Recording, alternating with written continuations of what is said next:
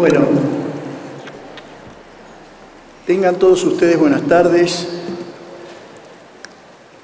Es un gusto para mí estar acá para hablar sobre temas de derecho, que es lo que nos ocupa, y particularmente relacionar todo lo relativo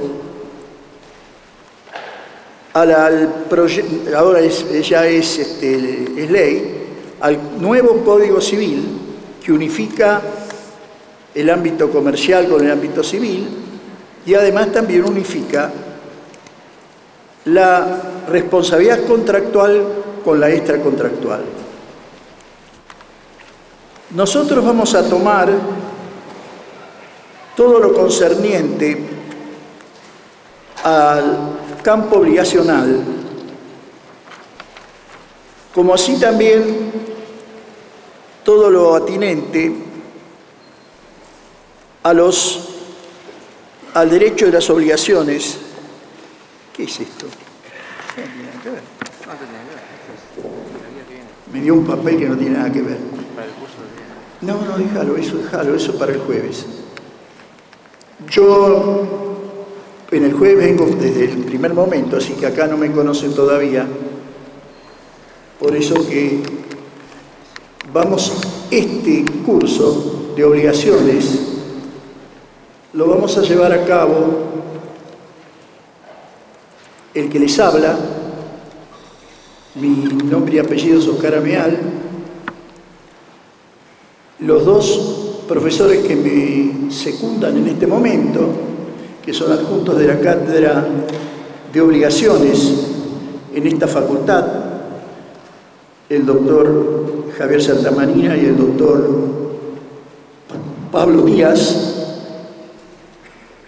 como así también nos van a acompañar en estos días la doctora Julia Gómez y la doctora Adriana Bustelo. Entre nosotros vamos a tener a cargo todo lo concerniente a los derechos personales.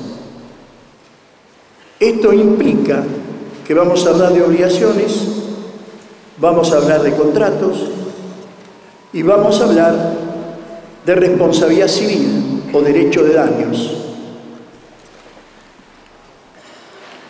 Es evidente que este tema nos preocupa, nos ocupa, como ocupa a todos ustedes el cambio de un código por otro. Es importante que estemos en claro sobre qué significa esto. Ustedes saben que el Código Civil velezano desde 1871 está rigiendo los destinos jurídicos de la nación, su aplicación, la doctrina de los autores, la jurisprudencia, con algunas modificaciones, no muchas, porque normalmente el código tuvo y tiene un respeto quizá reverencial. No obstante, como ustedes saben, el derecho es cambiante. El derecho es cambiante conforme es cambiante a las circunstancias que rodean la aplicación de la ley.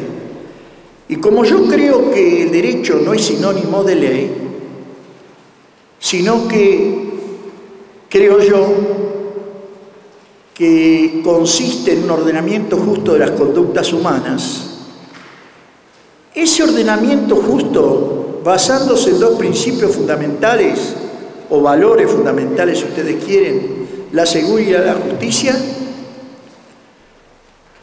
tiene que ir cambiando conforme lo digan las circunstancias. No es posible que el código de mitad del siglo 19 todavía sigue rigiendo las derechos y obligaciones en nuestro momento actual. Por eso que se imponía esta reforma, incluso existieron varios proyectos de reforma algunos de ellos más enjundiosos que otros, y el último de todos ellos es el proyecto del 98, que es fuente esencial de este proyecto. Sobre todo, se, redactan los artículos a veces aplicándolos y respetándolos la letra del proyecto del 98. Les digo esto porque hay que ser claro, hay que saber a qué nos atenemos y hay que ser leal con la obra de otros. Por eso que la fuente de este proyecto no es todos los proyectos, sobre todo el proyecto del 98, en lo atinente a la responsabilidad patrimonial, vale decir, todo lo referente a obligaciones, todo lo referente a contratos, a responsabilidad civil, no así en relación a familia, porque había cambiado sustancialmente el criterio de aquel entonces, pero todo lo demás realmente fue tenido como meta reproducir las pautas normativas de ese proyecto. Asimismo, tenemos que destacar la importancia del derecho creditorio, del derecho obligacional, porque el derecho creditorio, las obligaciones, son la llave que abre el campo en el derecho privado. Por eso es tan importante. Y por eso en la universidad es una materia que a veces peca de ser abstracta, pero no es árida. Es muy dinámica y dentro del dinamismo del derecho creditorio lo que más se destaca es el derecho de daños. Desde ya que esto fue evolucionando, no es que quedamos en Vélez, sino que la doctrina de los autores, la Jornada Nacional del Derecho, así como la jurisprudencia que poco a poco fue haciendo hincapié y interpretando la ley, fue variando fueron creándose estatutos particulares que regularon las instituciones al margen del código, pero tenemos que tener en cuenta que no es solo el código, sino que el código forma parte de un plexo normativo que sigue rigiendo. La Constitución Nacional, los tratados internacionales, los estatutos particulares, el Código Civil.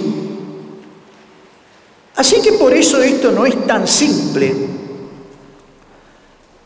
Y por eso que las modificaciones introducidas a veces son correctas, otras veces no, o no participamos de ese criterio.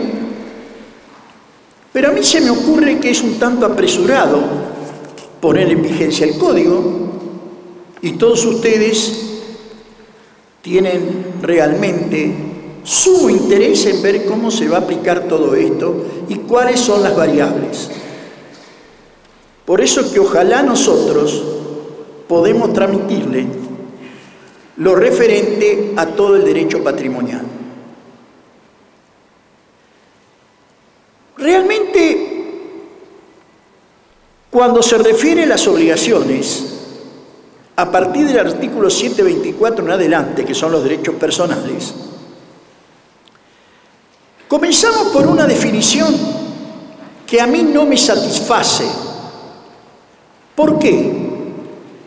De la, definición de obligaciones velezana, en que no hacía hincapié en la exigibilidad, porque la exigibilidad no es un elemento de la obligación, sino que decía que es una relación jurídica en virtud de la cual un sujeto denominado deudor debe satisfacer a otro denominado acreedor una determinada prestación. Y nosotros agregamos, por lo que después van a ver, que consiste en un dar, hacer o no hacer. Esa era más o menos la definición en doctrina. Pero es de acá que en esa definición estaban contempladas las obligaciones civiles, pero también estaban contempladas las obligaciones naturales. Lo que yo les dije que considero derecho, fluye del derecho natural. Y no por acaso yo creo que el derecho natural no lo debemos borrar ni lo podemos borrar, porque da principios fundamentales que están en cualquier sistema de derecho que nos permite a nosotros aplicar la ley con equidad a los casos concretos. Esto es muy importante. Esos principios fundamentales que regulan no solo el derecho de daño, sino el derecho jurisdictorio en general, el no dañar al prójimo, el cumplir con la palabra empeñada, en tener especialmente en cuenta que los derechos no son absolutos sino relativos, en tener en cuenta que no se puede castigar por la misma falta a la misma persona, no debe indemnizar doblemente el daño. El principio de reserva, el que se debe tener en cuenta al débil como centro del derecho y a la persona, ustedes ya vienen de estudiar lo de parte general, y me imagino que habrán remarcado que la persona humana o natural es el centro del sistema y el derecho se debe a la persona y no la persona al derecho. No podemos legislar teniendo en cuenta a la persona así porque sí, sino que los vaivenes de la vida de las personas y las circunstancias que rodean sus actos deben ser contemplados para regularlos. El derecho sirve a la persona y la persona es el centro. Acá como en todo, no puede ser que en un caso sí y que en otro no. Por, eso les digo que esta concepción que fluye del derecho natural debe ser tenida en cuenta. Y esta definición de obligación en el 724, que nos dice que es un derecho a exigir del deudor una prestación determinada y obtener la ejecución forzada, evidentemente deja de lado las obligaciones naturales. ¿Por qué deja de lado las obligaciones naturales? Porque justamente las obligaciones naturales son inexigibles. Solo se basan en el derecho natural y en la equidad y por lo tanto no se pueden exigir. Pero una vez que se cumplen, no puede repetirse lo dado en pago, porque la obligación natural tiene una causa de deber. A mí me causó sorpresa que se pretenda obviar la obligación natural desde el punto de vista del derecho civil. Sencillamente porque solo se basa en el derecho natural y la equidad. Y ninguna ley puede prohibir o desoír acerca de la existencia de una obligación natural. Claro está que para el proyecto habla de alguna manera en lo atinente a este tema de que existe un deber moral o de conciencia y cuando existe un deber moral de conciencia es irrepetible. Ahora, no distinguen en esto lo que es una obligación natural de un deber de conciencia. Porque el deber de conciencia no es un puro deber de equidad y que está dotado de un imperativo de justicia. Un deber de conciencia y un deber moral, si ustedes quieren, es darle una limona a un menesteroso. Pero no es una obligación natural. La obligación natural es que por un imperativo de justicia hay que cumplir. Por ejemplo, una deuda que está prescripta, o por ejemplo, una formalidad no contemplada en un acto jurídico, o por ejemplo también las deudas de juego que no están prohibidas pero que tampoco están permitidas, es decir, tuteladas, mejor dicho, sino consentidas, como las deudas de juego domésticas, esas generan obligaciones naturales. Y como tiene una causa de deber, si paga el deudor, no hay un pago sin causa y por lo tanto no puede repetirlo. Fíjense ustedes que esto de la obligación natural tiene una importante eh, y destacada misión como, eh, eh, como parámetro ético. Es decir, hay una razón de deber y por eso destacamos la preeminencia de la obligación natural.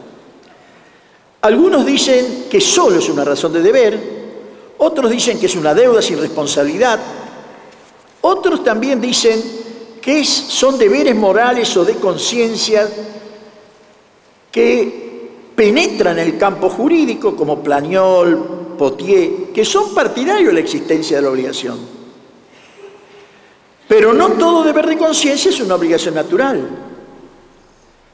Pero un puro deber de equidad o de derecho natural sí es una obligación natural.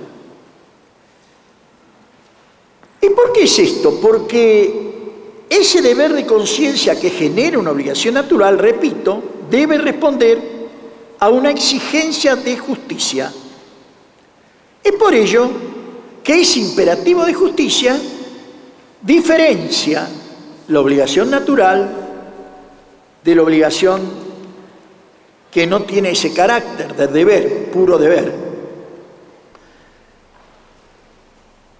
Y además, toda obligación que tiene, tiene un sujeto, tiene un objeto, tiene un contenido para nosotros, después lo vamos a ver, tiene una causa fuente, tiene un vínculo, pero antes se discutía si tenía que tener finalidad o no, eso lo habrán visto, yo creo que ya lo vieron, pero acá lo que tenemos que ver es que la exigibilidad no es elemento de la obligación, un elemento que es estructural de la obligación.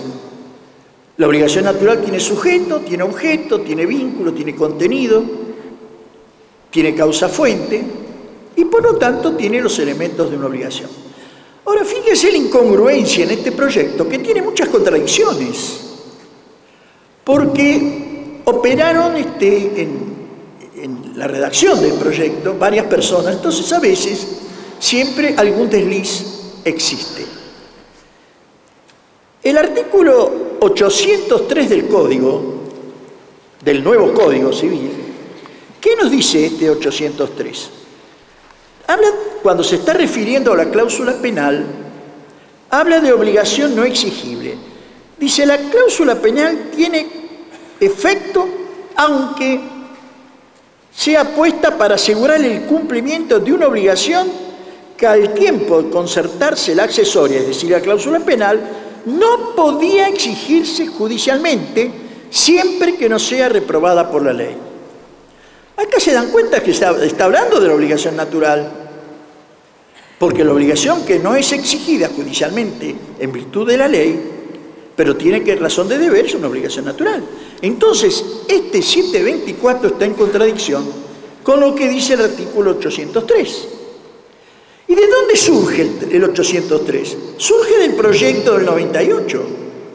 Y el proyecto del 98, cuando habla de la cláusula penal, habla de la accesoriedad y dice, se aplican a la cláusula penal las reglas de las obligaciones accesorias. Pero la cláusula penal es igualmente exigible en los casos en que sin que haya obligación principal se la prevé para el caso de producirse o de fracasar determinado hecho. Eso no lo tenemos en cuenta. Pero el punto B, en los casos que la obligación principal es natural y el caso que están mencionando en el OSOS 803 de, este, código es exactamente lo que el 1649 tenía en mira por lo tanto, a mí me parece que hay una contradicción entre 803 y el 724. Asimismo, vamos a seguir avanzando, porque no hay mucho tiempo para esto, con relación a qué otros elementos encontramos en la obligación. Se habla de la prestación, pero no de la prestación, porque la prestación es sinónimo de objeto. Nosotros desde hace tiempo, con Alterini y López Cabana, venimos diciendo que una cosa es la prestación y otra es el objeto de la obligación. Para nosotros el objeto es el bien apetecido por el acreedor. Por ejemplo, yo les tengo que entregar esta cartuchera, la cartuchera es el objeto. En cambio, la actividad que yo despliego para entregar la cartuchera es el contenido, es la prestación. Por eso que cuando yo definí obligaciones, le dije en una prestación que puede consistir en un hacer, en un no hacer o en un dar. Evidentemente, nosotros creemos que contenido es distinto de objeto. Esto tiene razón de ser porque cuando paga un tercero, cuando paga un tercero, el deudor no presta, el que tiene que prestar es el deudor. Si paga un tercero para luego reclamarle al deudor, los, legitimados para pagar es el deudor, tercero interesado o no interesado. Cuando paga un tercero y le reciben el pago, porque el que tiene que tener consentimiento para recibir el pago es el acreedor, y le recibe el pago, la obligación se extingue por obtención de la finalidad, porque el objeto está, pero no hubo prestación. Entonces, ¿cómo podemos explicar si identificamos objeto con prestación y hay objeto y decimos que no hay prestación, el pago por un tercero? La prestación es a cargo del deudor y en este caso el objeto fue entregado al acreedor. Fue entregado por intervención de un tercero, ese pago por un tercero.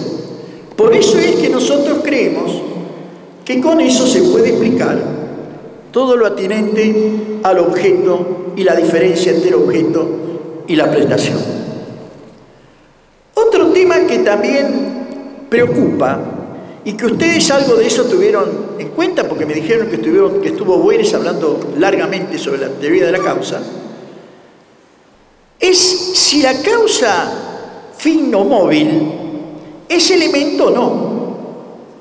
La larga discusión que había entre los causalistas y los anticausalistas era que el causalismo decía que sí que era elemento, que era elemento no de la obligación, sino que era elemento del acto. ¿Por qué no de la obligación? Porque no puede ser que nosotros ciertamente podemos creer que la finalidad es elemento de toda obligación. Y para ser elemento tendría que ser de toda obligación, como el sujeto, el objeto, el vínculo, etc.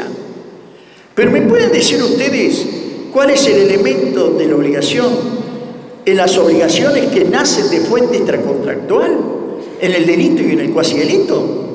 ¿Cuál es la, la finalidad? Puede tener una finalidad que es el odio que le tiene, causarle un daño, pero no la fuente, que es la indemnización de daños, en ese hecho ilícito, carece de finalidad, o por lo menos una finalidad no jurídicamente válida. ¿Y qué nos dicen a esto los partidarios de la teoría de la causalidad, del neocausalismo? Y nos dicen sí, pero en el campo del acto jurídico, ahí sí tienen finalidad. Y ponen el famoso ejemplo de cuando alquilaba en un balcón una persona para ver pasar el rey y decía que el rey no pasaba, no pasó y entonces se frustró la finalidad y punto. ¿Cuáles eran los principales problemas que se creaban acá? Además de que tenía que ser objeto de, tenía que ser calle, existir toda obligación, tenía que exteriorizarse porque si el motivo, el móvil, no fue exteriorizado, si somos dos autistas, que yo pienso que le, que le dono y ella piensa que compra, entonces ahí falla, falla algo. Entonces creemos nosotros que con esa exteriorización que antes no estaba plasmada, ahí sí podíamos empezar a hablar de finalidad. ¿Qué pasa ahora? El Código Civil, ustedes saben que habla de esto de la causa en los artículos 429 a 502. Esos son los artículos que hablan de causa. Y en, la teoría general de las obligaciones. Y ahí se discutía si era causa fuente, causa fin. Nosotros creíamos que era causa fuente siempre, otros decían que había causa fin. Bueno, esa es una discusión que yo creo que está perimida. ¿Por qué? Porque este proyecto, en el fundamento y además en el articulado, dice que el problema de la causa se trata en el acto jurídico. Entonces, ¿cómo es esto? La finalidad tiene vigencia, tiene virtualidad jurídica si se la tuvo en cuenta en el acto jurídico. Y evidentemente el proyecto este en el acto jurídico dice que menciona y regula la causa, la finalidad, la causa fin. Porque ahí tiene disposiciones generales sobre el objeto, sobre la causa, sin perjuicio de que oportunamente se mencione lo que se entiende específico para lo relativo a la causa final. Es decir, la causa final ahora está regulada en lo concerniente a la, al acto jurídico. Además, claro está, que para que en el acto jurídico la causa tenga plena validez, tiene que reunir algunas condiciones. ¿Cuáles son las condiciones que tiene que reunir? Que sea determinante de la voluntad y debe estar integrada por los motivos exteriorizados cuando sean lícitos y hayan sido incorporados al acto expresamente, motivos exteriorizados. Además de estos motivos exteriorizados, también habla de motivos esenciales. Para ambas partes ya fueron expuestos expresa o tácitamente. Esto en el acto jurídico. Y luego, en la parte pertinente a contratos, remite el 1012 a la parte que regula los actos jurídicos, es decir, sigue con ese criterio porque el contrato es un acto jurídico. Y el 1090, cuando la frustración del fin del contrato, esto es muy importante, igual lo vamos a insistir después cuando lleguemos al contrato, pero como esto es un pendular, obligaciones va para parte general, va para contrato, va para derecho de daños, da para todo, Dice, la frustración definitiva de la finalidad del contrato autoriza al perjudicado a declarar su rescisión si obedece a una alteración de carácter extraordinario de las circunstancias existentes al tiempo de la celebración, ajena a las partes y que supere el riesgo asumido por el afectado. Y para poder pretender frustrar que el contrato se tenga en cuenta esta frustración de la finalidad, tienen que darse estas condiciones. El fin debe ser inmediato, determinante para la voluntad, motivos exteriorizados y además también expresa y en el caso que sean eh, esenciales, motivos tácitos o expresos. Evidentemente, acá esta causa debe existir en la formación, en la celebración y la ejecución del contrato. En la formación para toda, en la teoría general del contrato vamos a ver algo que se ha incorporado, que es lo relativo a las tratativas preliminares. Es toda la responsabilidad extracontractual o incontraendo. Por eso habla de la formación. La formación del consentimiento está ahí y también interesa ahí con el deber de obra de buena fe, con el deber de informar muy importante. Entonces ahí tenemos que tener en cuenta si vamos a buscar en eso la invalidez, la adecuación o la extinción del contrato, si se frustra esta finalidad. Cuando habla de obligaciones, en el campo obligacional, ¿qué nos dice sobre la causa? Fíjense que ahí viene a reproducir más o menos lo que dice nuestro 499 a 502. ¿Qué nos dice este,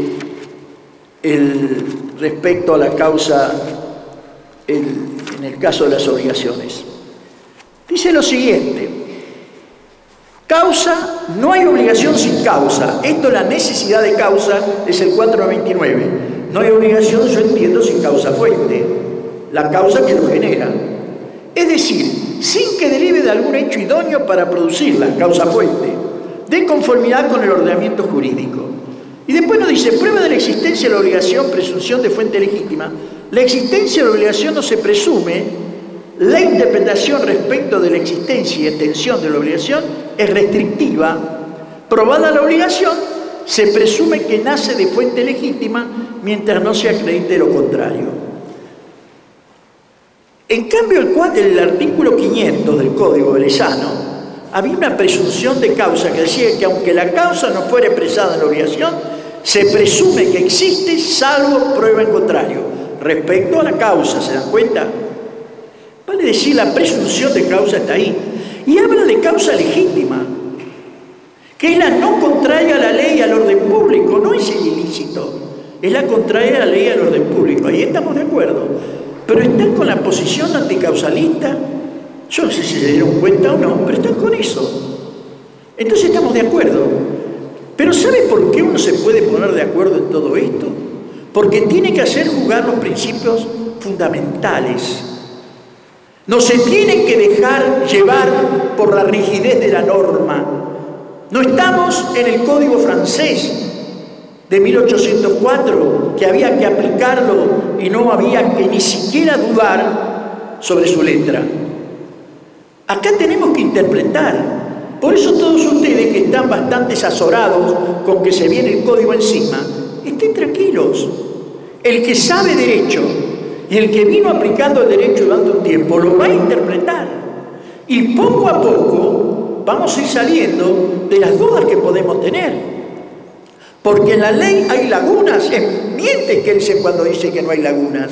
Y todos los que enseñaron a nosotros que el derecho es la ley, están equivocados. Entonces, cuando hay lagunas, entra el doctrinario y el juez, si opera con certeza, con probidad, con transparencia, y realmente puede aplicar el derecho. Yo estoy en la Cámara Civil y hago esto. Yo interpreto la norma. En el daño moral, por ejemplo, yo no estoy convencido del 1078, es un disparate. ¿Cómo van a poder también pedir daño moral? Que esto, por suerte, en este, en este proyecto se soluciona porque hablan de daño no patrimonial. Pero ¿cómo pueden pedir nada más que ascendiente, descendiente y cónyuge? Y le excluían a la concubina, y lo excluían a los, pa, a los hermanos, a las sobrinas a veces. Habrá que ver en cada caso quién tiene derecho o no, porque es un daño propio. Pero si tenemos otros artículos en el código como el 1079 que nos dice que hay de indemnizarse todo daño, y el 1068, entonces es evidente que tenemos que hacer jugar todo el criterio, la, la normativa legal, para decir, en este caso también se aplica. Bueno, eso es lo que vamos a hacer con este, con este código. Es un avance el código, pero no se crean que es la panacea. Yo estuve en la comisión de redacción de esto, muy poco estuve. A mí me tocó la parte de modos extintivos obligacionales, que me parecía que no es un tema muy... Además de sacaron transacciones, lo mandaron a contratos, así que no me, no me resultaba muy, muy este, plausible esto. A mí me hubiese gustado hasta derecho de daño, derecho de consumidor, ahí es donde podemos obrar lealmente en favor del débil y de la persona humana. Pero el que estar en esa comisión no me quita la posibilidad de hablar cuando es necesario a favor y cuando no en contra. Nosotros no venimos a batir palmas acá. No venimos a decir que esto es el gran código, que es la que hablan las fuentes del código. No. Si ustedes se fijan bien, no tiene muchos fundamentos este código. No es como el proyecto del 98 que de fundamentos tiene un libro. Por eso que tenemos que tener en cuenta eso. Después es cierto que habla del deber moral, que ya lo di, la buena fe que le introduce el acto jurídico, al principio, al título preliminar, es introducida la buena fe bien, la buena fe probidad, la buena fe creencia, que nosotros por otro lado la teníamos en el 1198, el principio de buena fe, que es un principio fundamental.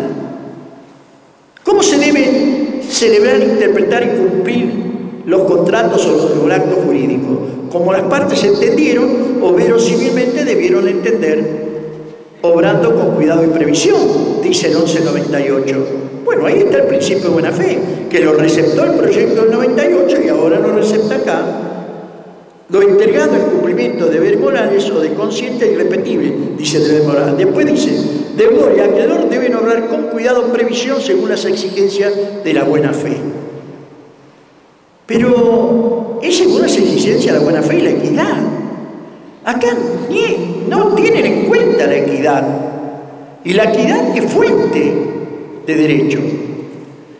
Incluso la costumbre también es fuente de derecho y acá se ha ninguneado la costumbre, a pesar de que es la unificación del derecho civil y comercial. Fíjense ustedes que acá no es que el derecho civil se llevó por delante el derecho comercial, sino que el derecho comercial mercantiliza el derecho civil. ¿Y cómo lo mercantiliza? Lo agiliza. ¿Cómo? Teniendo en cuenta la buena fe teniendo en cuenta la declaración unilateral de voluntad como fuente obligacional que fue negada desde hace mucho tiempo, desde que yo era alumno, estaban negando esto, y ahora se convencieron que la declaración unilateral de voluntad es fuente obligacional, como la promesa de recompensa, como todos los títulos valores que existen, tienen su razón de ser en esa teoría. También es cierto cuando hablan de los efectos de las obligaciones, acá agudicen los abogados sobre todo, agudicen un poco los oídos. Porque yo fui abogado durante mucho tiempo. Y cuando a Caballo se le ocurrió meter esto en el, medio, que decía, bueno, puso que el 25% no se podía superar el 25% cuando se regulaban honorarios. Yo creí que esto había sido superado, incluso normalmente tratamos de no aplicarlos. Pero acá vuelven con eso. Primero hablan de los medios legales, el cumplimiento por otro y forzado, que está bien. Pero dice, si el incumplimiento de la obligación cualquiera sea su fuente deriva en el litigio judicial o arbitral o la responsabilidad por el pago de las costas, incluidos los honorarios profesionales, todo, de todo tipo, allí de vengado y correspondiente a la primera o única instancia, no debe exceder el 25% del monto de la sentencia, la transacción o instrumento que ponga fin al diferendo. Si las regulaciones de horario practicadas conforme a la ley nacional de usos locales correspondientes a todos los profesionales y especialidades superan dicho porcentaje, el juez debe proceder a prorratear los montos entre los beneficiarios. Bueno, el Colegio Público de Abogados estará contentísimo con esto. Para el cómputo del porcentaje indicado no se debe tener en cuenta el monto de los honorarios de los profesionales que han representado patrocinado al sentido la parte condenada en cuentas. Esta parte a mí me parece no tiene nada que ver en los efectos de las obligaciones, pero fue incluida alguna vez por otro motivo y ahora fue eh, refrendada nuevamente. Luego habla de la actuación de auxiliares, que esto es una norma positiva, el principio de equiparación, el cumplimiento de las personas de las que el deudor se sirve para la ejecución de la obligación, se equipara derivado del propio hecho del obligado.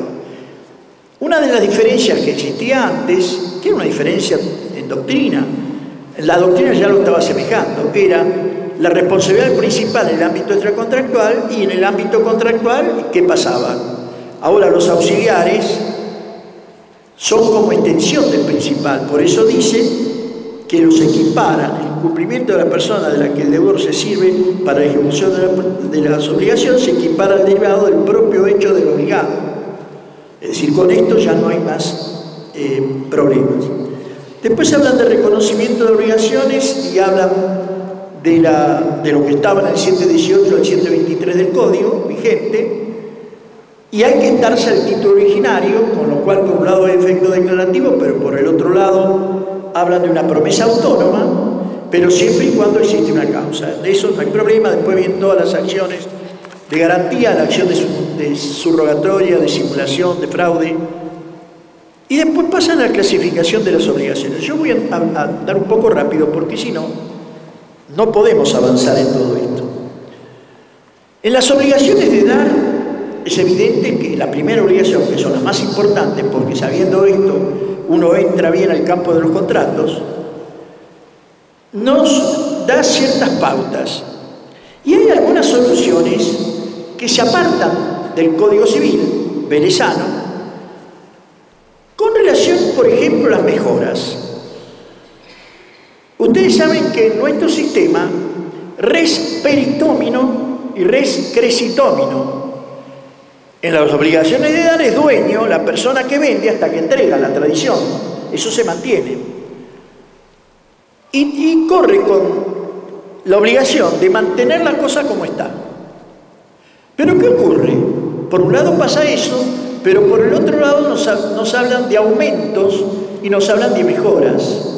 ¿Qué es un aumento y qué es una mejora? El aumento proviene de la naturaleza, la mejora proviene del hecho del hombre. Acá, cuando hablan de aumentos, hablan de artificiales, o sea, simplifican la, cuestión y están de alguna manera clarificando esto. La mejora natural, natural que vendría a ser el aumento anterior, le permite al deudor exigir un mayor valor. El deudor de la cosa. Pero claro, si él pide un mayor valor es porque también él corría con los riesgos si la cosa se deterioraba, estando en su poder.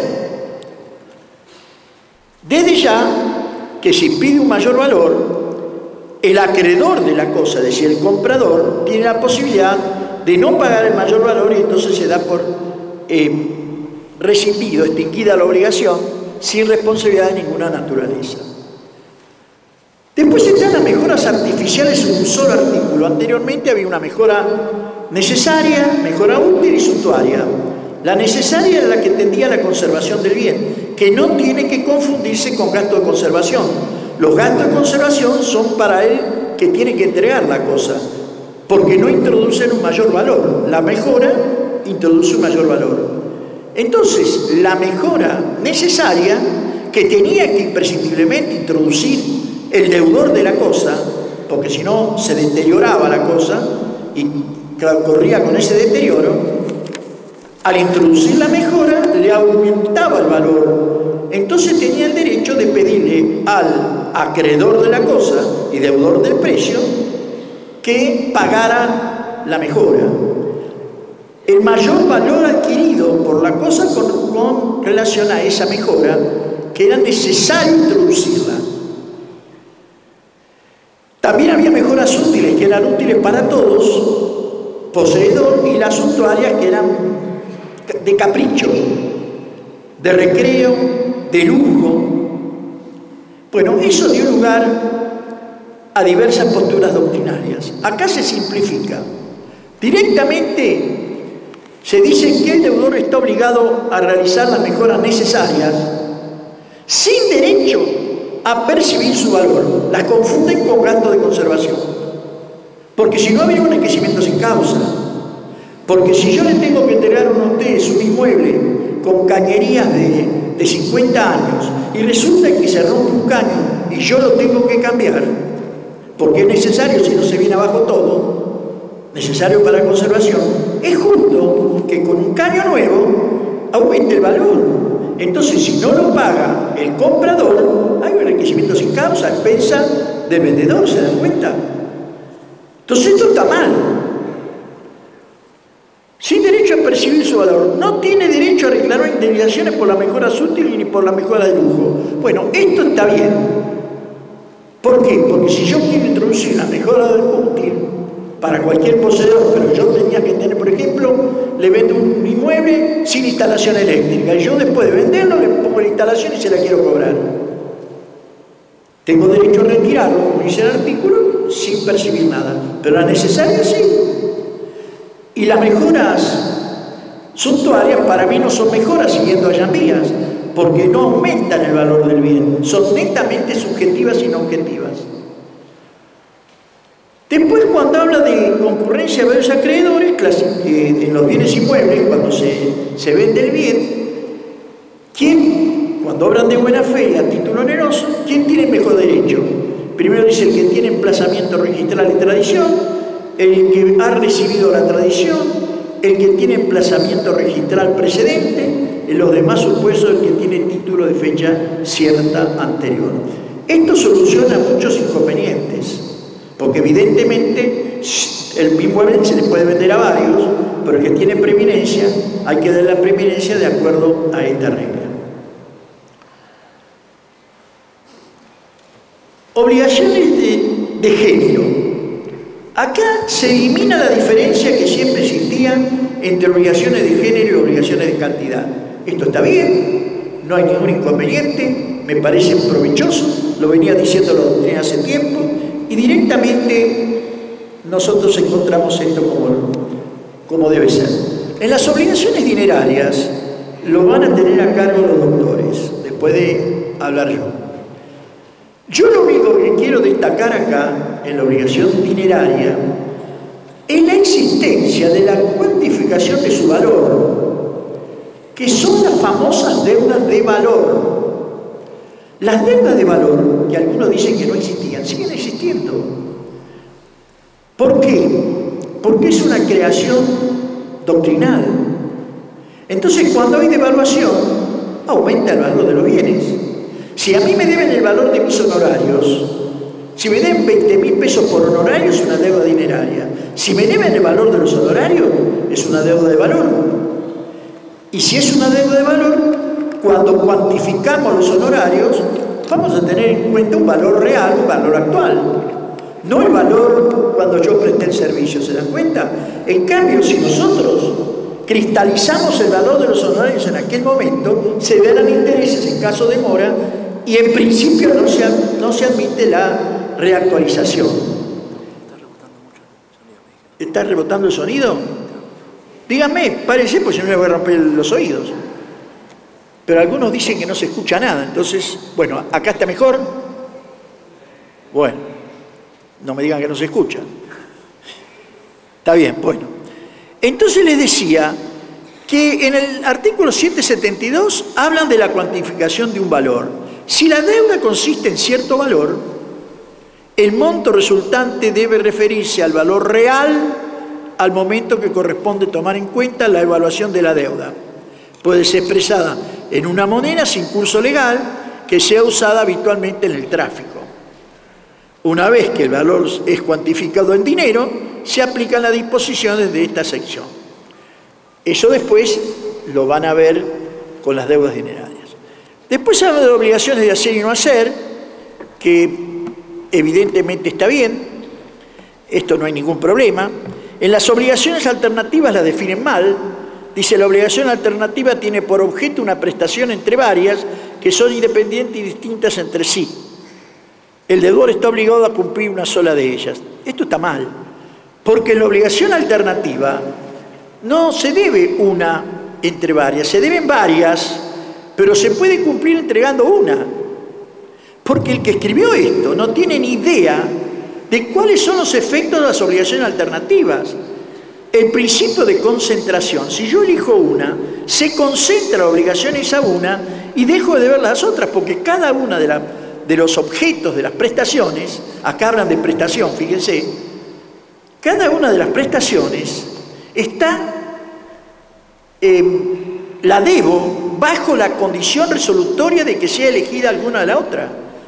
Si, por ejemplo, el, acreedor o el deudor, si es regular o irregular, elige una de las otras, se concentra en esas obligaciones. Por ejemplo, llevo el, el, ratón Miquel, el perro, o el perro Pluto, o el, qué sé yo, o Maradona. Si, si concentramos en uno de ellos, los demás quedan borrados retroactivamente como si nunca hubiesen sido existido. Esto es muy importante, porque si digo que una entre varias, desaparecida esa una, que no sé cuál es, porque hasta que no se individualiza no se sabe, y cuando se individualiza se transforma en tal cosa cierta, cuando hay un caso fortuito, ¿qué pasa? Pues llevo el perro, o la vaca, o el caballo, en esto es de género alternativo, no es alternativa. O la vaca manganga, o la, vaca aurora, el perro pluto o el caballo manganga. Si yo elijo uno, a partir de ese momento se convirtió en cosa cierta. Pero hasta el momento que no se individualiza, que no se opta por una de ellas, si se pierde la vaca aurora por caso fortuito, se concentra la obligación en las demás. No es que se libera el deudor, se tienen que perder las tres para que se libere el deudor. Entonces no es que se debe una entre varias, se deben varias, pero el deudor cumple entregando una. ¿Está claro? Bueno, la elección, todo demás está bien, en las obligaciones facultativas no hay problema, acá viene el problema. Las obligaciones con cláusula penal, que están ubicadas en las obligaciones que en realidad este, hablan de de teniendo en cuenta el objeto y ponen la cláusula penal a continuación de las facultativas. Ustedes saben que la cláusula penal es una obligación accesoria y que tiene una doble función. Tiene una función indemnizatoria y una función compulsiva. Acá dice la cláusula penal es aquella por la cual una persona, para asegurar el cumplimiento de una obligación, se sujeta a una pena o multa en caso de retardado o no ejecutar la obligación. Esta es la función compulsiva. Pero realmente la cláusula penal, para nosotros, cumple una función indemnizatoria mucho mayor.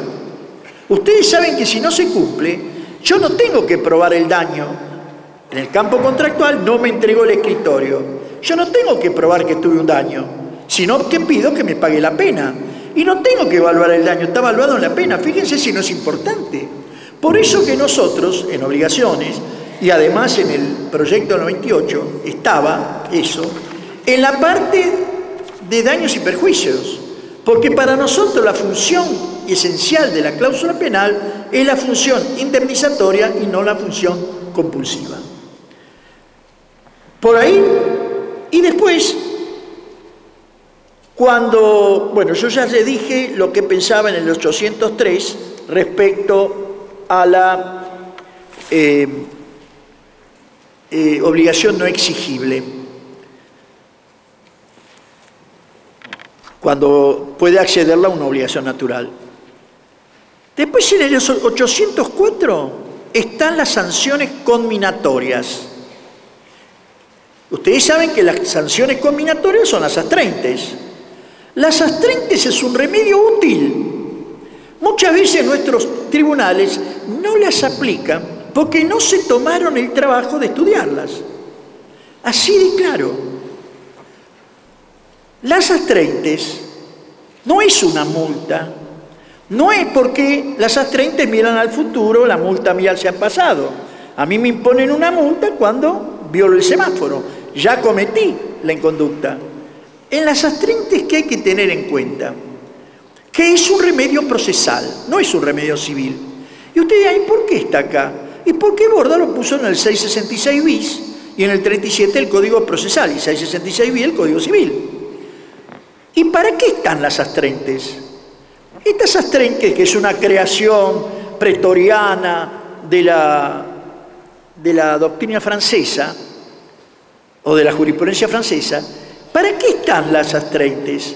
Para asegurar el cumplimiento de un mandato judicial. Ahora acá creen que es para asegurar el cumplimiento de una obligación. No. Que se utilice para eso, sí. Por eso que nosotros en el programa de obligaciones la tenemos en, la ejecución forzada de la obligación. La obligación, ¿qué, ¿qué podemos hacer nosotros? Pedir el cumplimiento pago, si no pagó, que lo ubicamos como, después lo vamos a ver eso, si no pagó, entonces puede entrar a jugar las 30, porque entra la ejecución forzada, pero la ejecución forzada tiene límites, la no violencia física sobre la persona al deudor, ni psíquica tampoco. Entonces, ese cumplimiento forzado, esa ejecución forzada obligacional, porque el deudor quiere que le entreguen lo debido y no otra cosa, no quiere los daños y perjuicios, quiere lo debido, es eso, evidentemente, eh, puede ser obtenido mediante la aplicación de astraentes. Este, este instituto, para los que ejercen derecho de familia, justamente cuando se deben alimentos, cuando no se cumple el régimen de visitas y el juez ordenó cumplirlos, ¿qué tiene que hacer el abogado? El abogado tiene que pedirle al juez que imponga astraentes. Porque ahí que le van a, a tocar al deudor el órgano más sensible, que es el bolsillo, porque son penas progresivas que tendrán en cuenta la situación patrimonial del deudor. Y por eso que son muy útiles. También en el campo de la responsabilidad es útil, porque si condena a hacer y no hacen, entonces aplican las 30. Por eso les digo que indirectamente contribuye al cumplimiento de la obligación, cuando no se puede forzar ni física ni psíquicamente ese cumplimiento. Y acá cumple todo eso, pero no tiene en cuenta si es acumulable, que era la gran discusión que había, si es acumulable o no la indemnización. Jambías y Alterini decían que no era acumulable la indemnización porque era un enriquecimiento sin causa. Con López Cabana nosotros creíamos que sí era acumulable, porque una cosa es el daño y otra es la obligación legal de pagar a treintes, porque lo que se tiene en cuenta acá no es el incumplimiento obligacional, es no cumplir el mandato judicial. Esto es claro. Entonces de ahí es un elemento muy útil. Aunque sea ustedes, tengan en cuenta esto, que muchas veces no les llevan el apunte. Porque esto vino con la reforma del 68. Y entonces algunos lo tenían ahí perdido, dicen, bueno, y no lo aplicamos, tienen miedo de aplicarlo. Esto es elemento muy útil. ¿Cuándo es elemento muy útil? Cuando el funcionario público no contesta los pedidos de informe, por ejemplo. Cuando el Estado se ríe y la irresponsabilidad del Estado es la irresponsabilidad de lo que lo, establecieron. Eso lo, vamos a ver, lo voy a ver yo. Yo voy a venir todos los días. Voy a tener un tema y después esos otros temas no los voy a enloquecer los van a, los van a desarrollar otras personas. Pero tienen que tener también en cuenta esto. ¿Qué dice la última parte del artículo? La observancia de los mandatos judiciales impartidos a las autoridades públicas se rige por las normas propias del derecho administrativo. Chau. El Estado no se le puede imponer a 30 y no se le puede imponer a 30 a los funcionarios públicos. Esto es, desde este punto de vista, es una impunidad. Porque sabemos, por ejemplo, los jubilados que quieren cobrar y no les pagan, por eso que todos los días, los jueves, hay un concierto que quiere escuchar ese concierto, que venga a la valle entre Talcahuano y, este, y Libertad y van a ver que ahí hay tachín, tachín, largo y tendido. Los que están quedando todavía. Por eso que esto es una ignominia que no se aplique a unos sí y a otros no. No hay igualdad, que es un derecho constitucional. Después se hablan de las obligaciones divisibles, las obligaciones indivisibles, todo eso eh, no hay problema. Hablan de las obligaciones sujeto plural, pero fíjense qué error.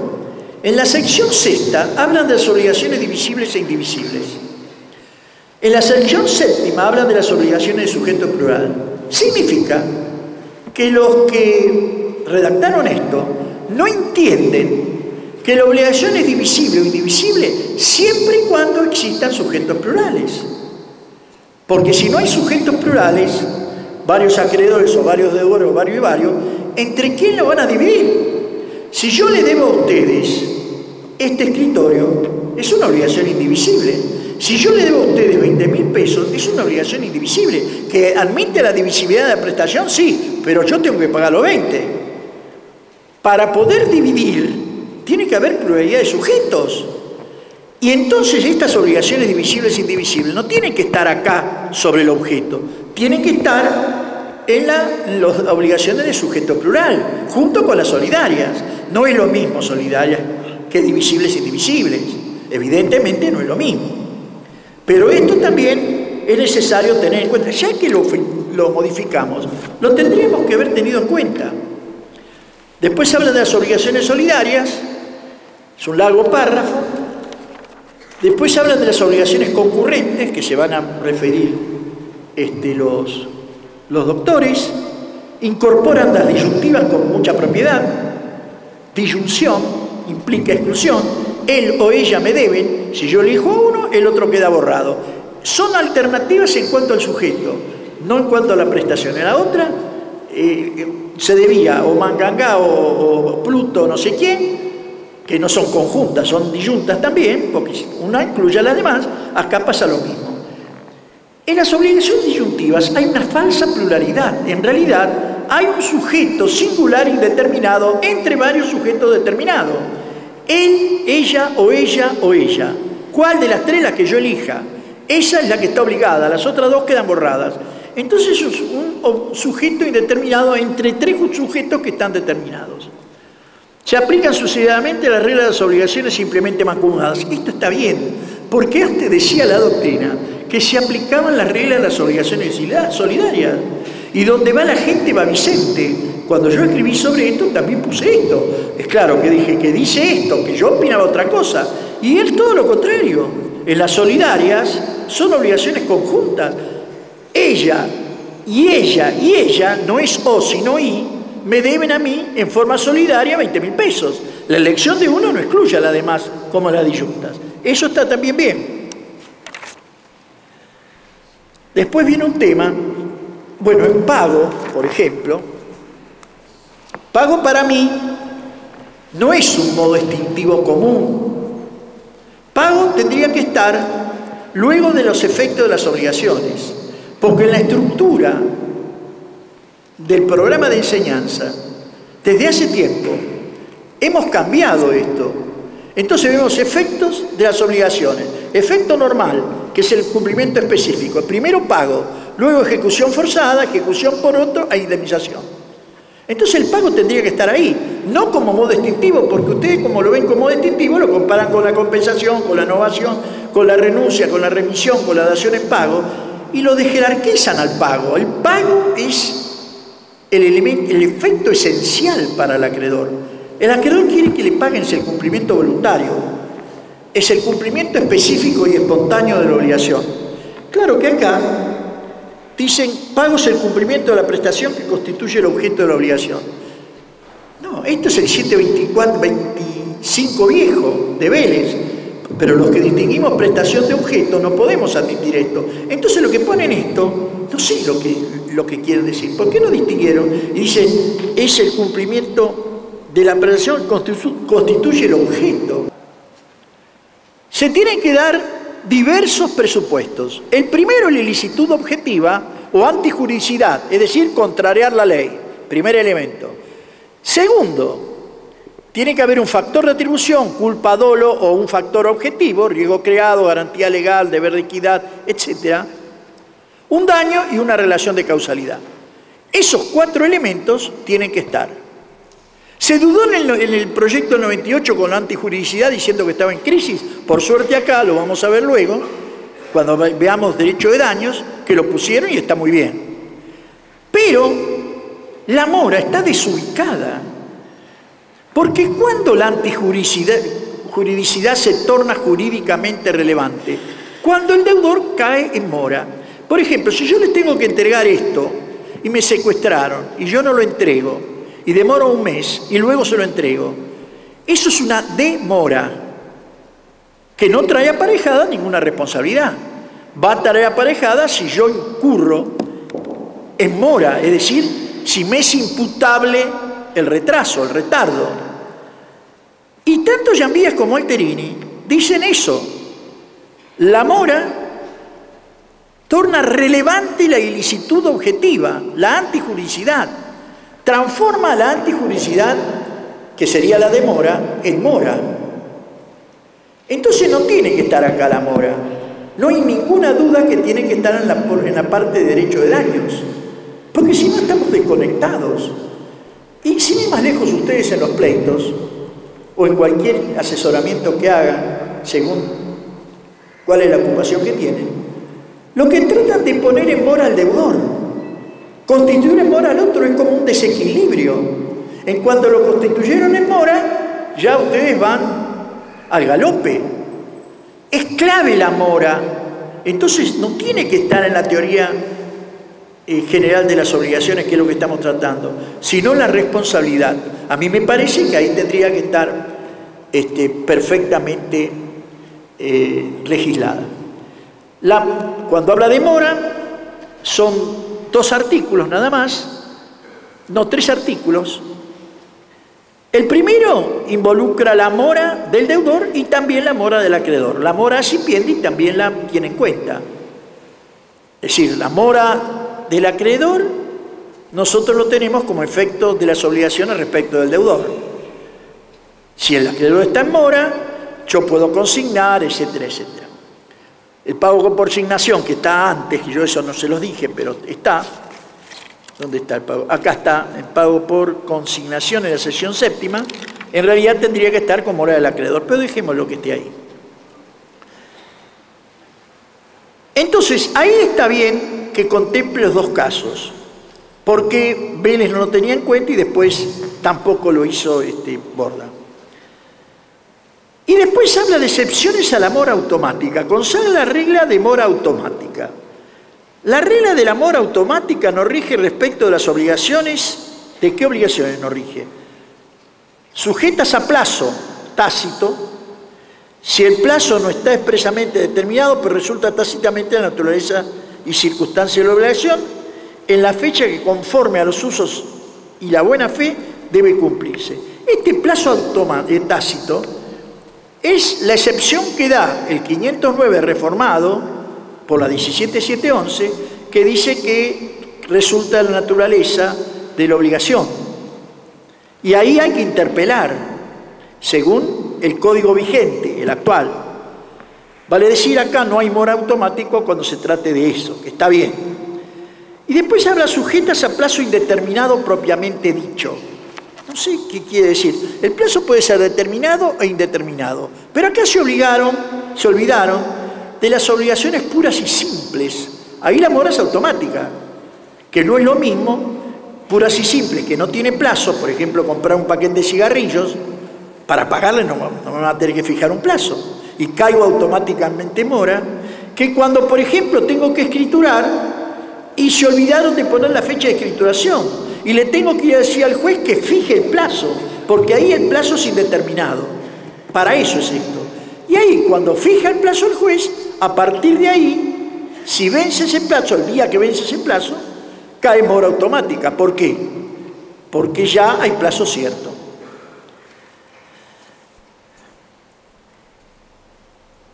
En la fecha indicada por la sentencia para el cumplimiento de la obligación. Está bien. La exhibición,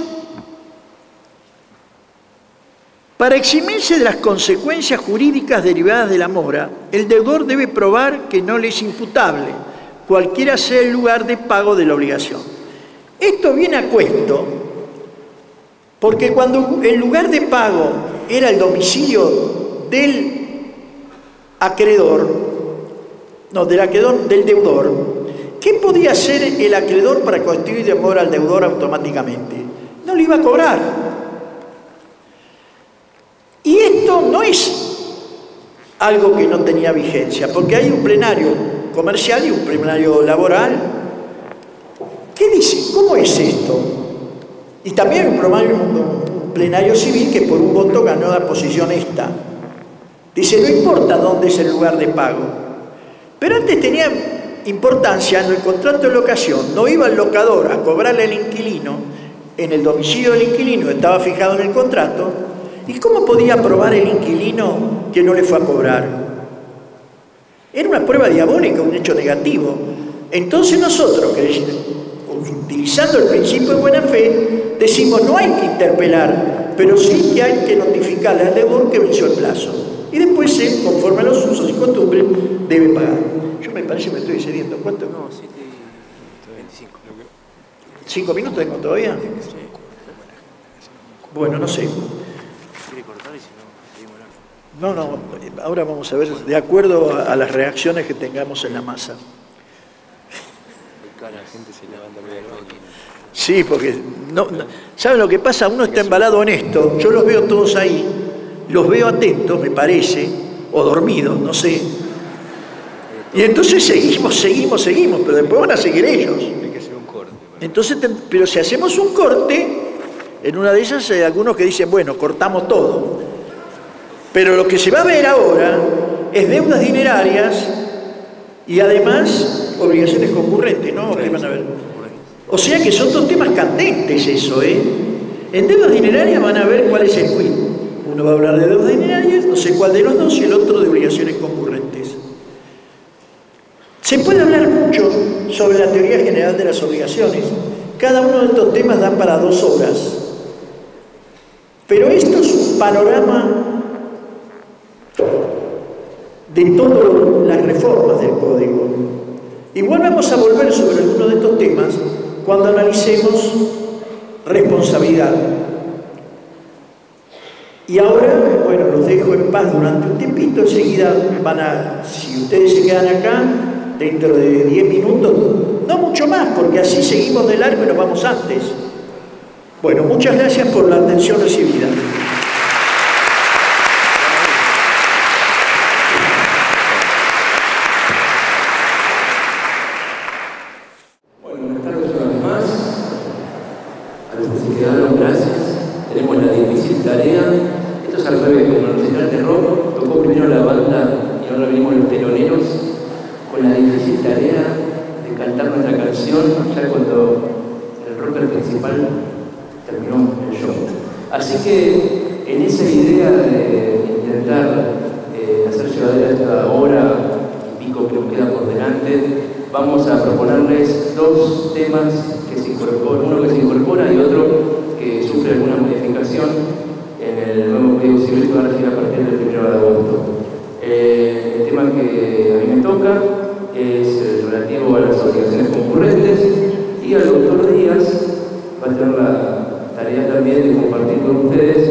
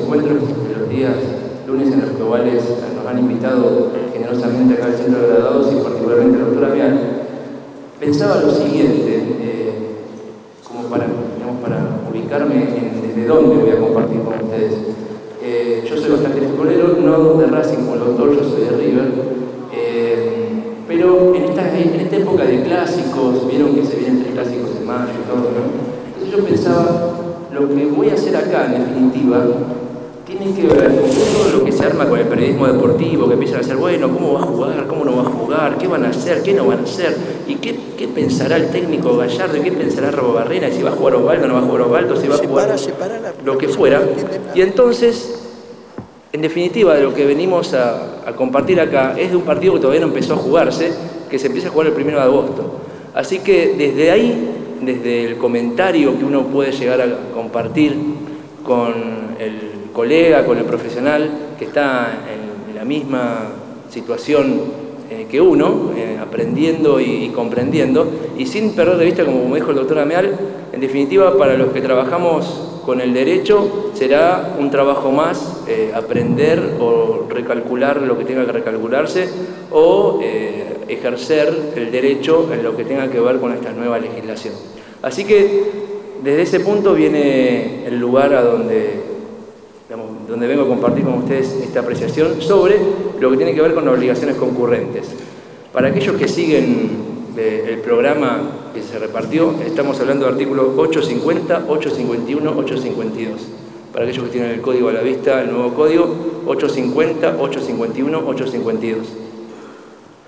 ¿Sobre qué vamos a hablar? Sobre una clasificación... Que se aleje, ahí, ¿está bien? Ustedes me dicen, si, si, no se escucha nada, me dicen. no se escucha mucho. ¿Se escucha ahí demasiado? Ahí. Ah, es fácil, pero usted ahora está ahí. Bueno, entonces, eh, la, cuestión, digamos, de las obligaciones eh, concurrentes que se incorpora, tan y cual se incorporaba también con el proyecto del 93, con el proyecto del 98 y ahora en este 2015, tiene que ver con obligaciones sobre las cuales se pusieron a pensar hace muchos años. O sea, la novedad es la incorporación legislativa, más no así el, el, tema como novedoso. Cuando uno se pone a, buscar en los libros, en los textos, digamos, he, tomado eh, últimamente la, costumbre de ir a buscar los autores clásicos, parece que están, les paso el dato, pero parece que se están descartando de, muchos, de muchas obras clásicas y he encontrado muchas obras clásicas a 100 pesos el tomo en Plaza Lavalle. Eh, y ahí está todo, digamos, básicamente eh, a 100 pesos buzo, a 100 pesos colmo, a 50 pesos resónico. Y uno va encontrando, eh, además de darse cuenta que está todo escrito, va encontrando el origen de muchos institutos o muchas, muchos temas de derecho que hoy se renuevan a partir de la incorporación. Y este es uno de ellos. En 1830 un alemán, un tal Keller, que era estudioso del derecho romano, estudió el tema de las obligaciones concurrentes. Y estudiando del derecho romano, eh, determinó o hizo una, síntesis de los distintos antecedentes eh, del, sistema, digamos, digamos, de las institutas, de, todo lo que tenía que ver con el derecho romano y el régimen de los antecedentes, y determinó que en cuanto a solidaridad, que es un poco de donde arranca este tema, en cuanto a solidaridad, en cuanto a cómo funcionan eh, las obligaciones en presencia de sujeto plural, ya sea en la fase activa o en la fase pasiva, él encontró que en los antecedentes romanos la solidaridad perfecta era aquella en la cual una obligación era compartida por sujetos activos o pasivos plurales.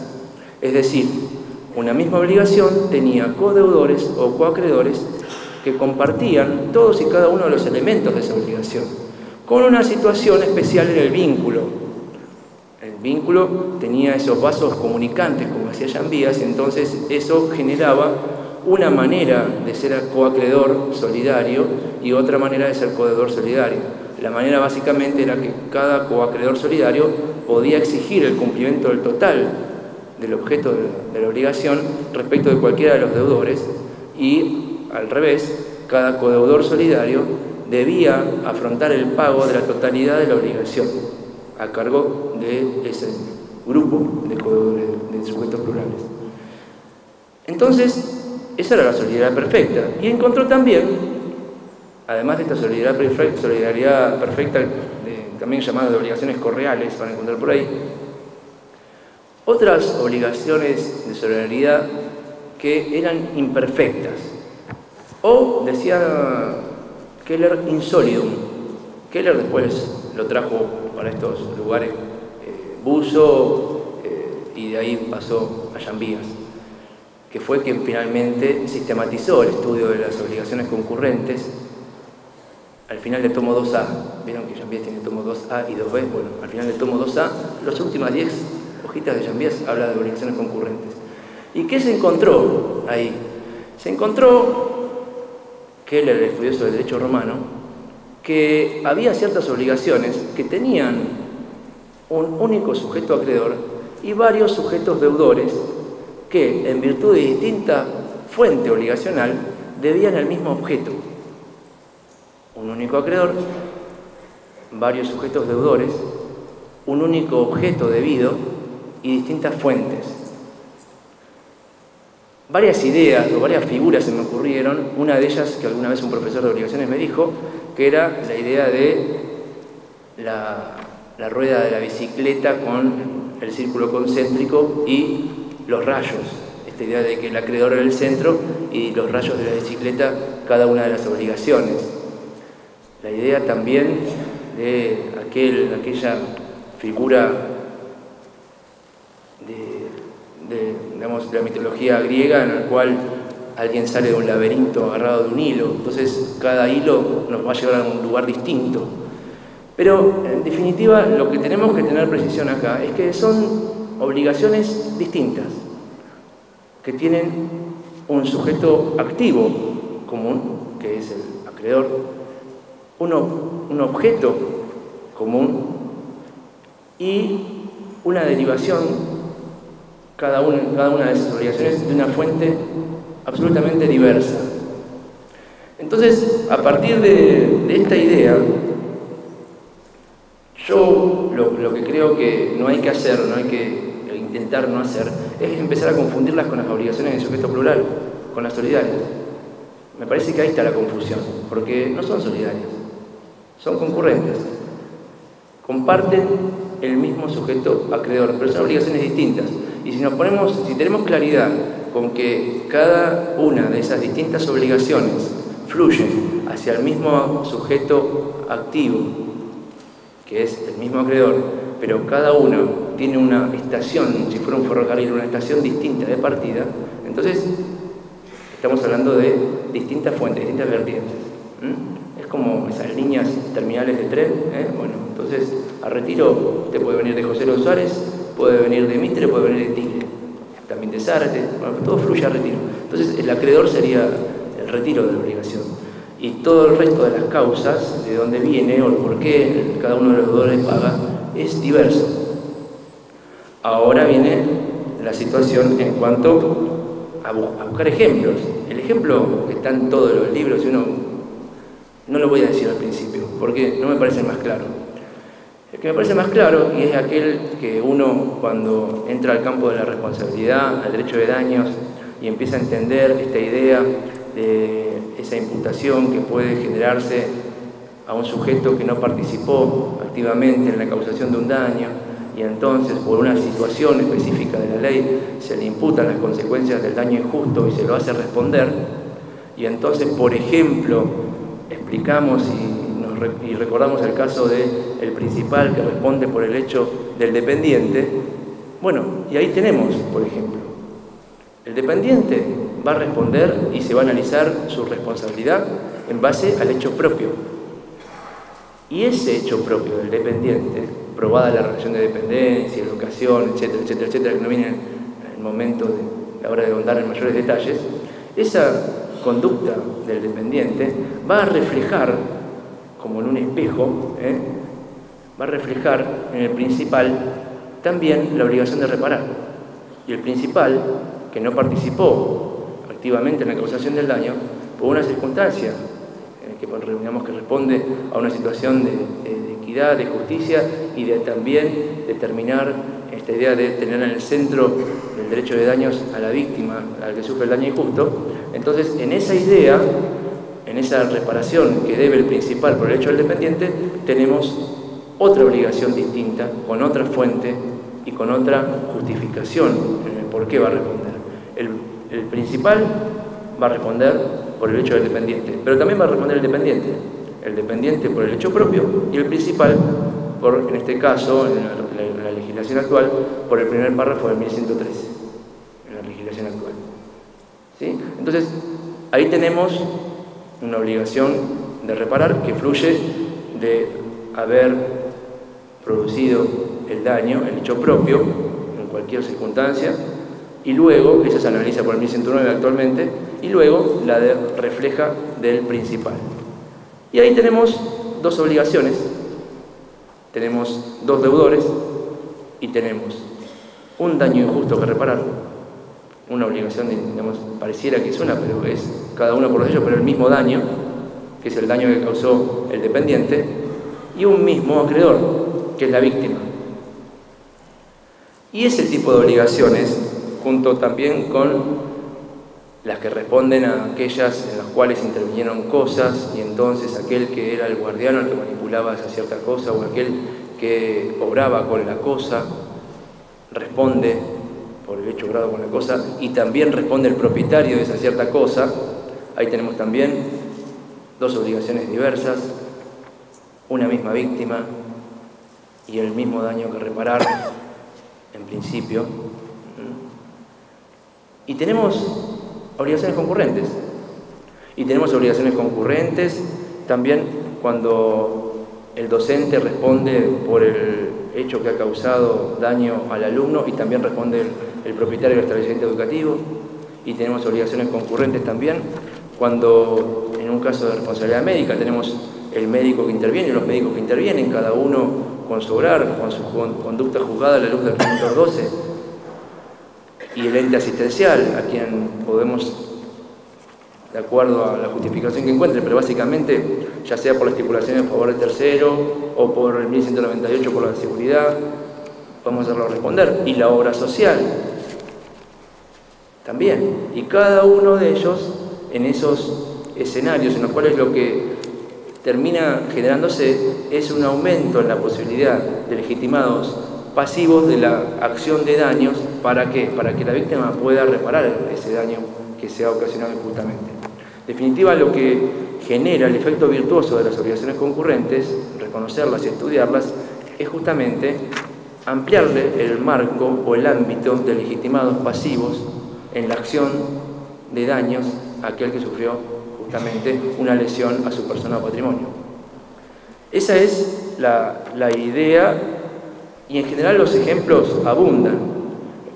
A veces uno se da cuenta cuando empieza la acción o a veces uno va para adelante y no se da cuenta.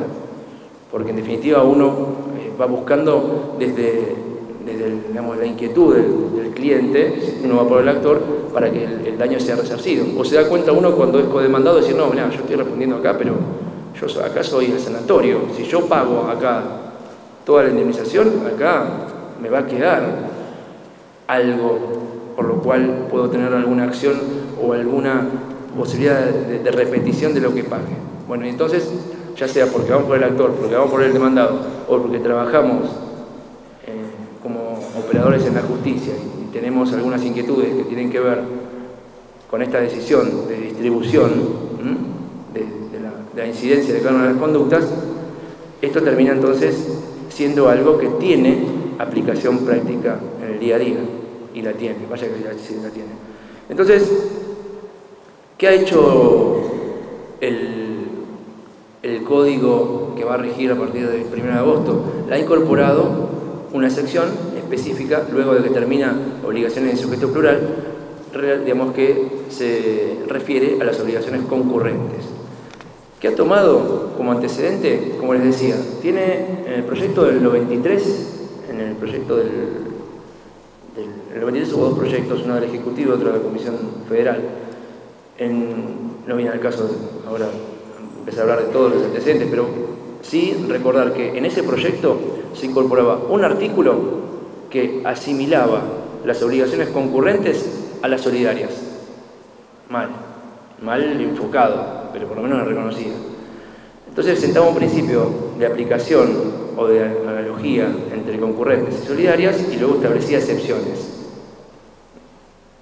Y digamos, el mismo artículo ¿eh? decía, se aplica el régimen de las solidarias, salvo uno para tal, tal, tal y tal, y luego punto dos decía que o regulaba una acción de repetición del deudor que pagó la deuda y la repetición era contra el resto de los codeudores concurrentes y decía que esa acción de repetición se iba a regir por las relaciones causales que originaron la concurrencia. Proyecto 93, un artículo con dos excepciones, a qué no se aplica y la acción de repetición. Proyecto 98, establecía una sección específica y en dos artículos regulaba el tema.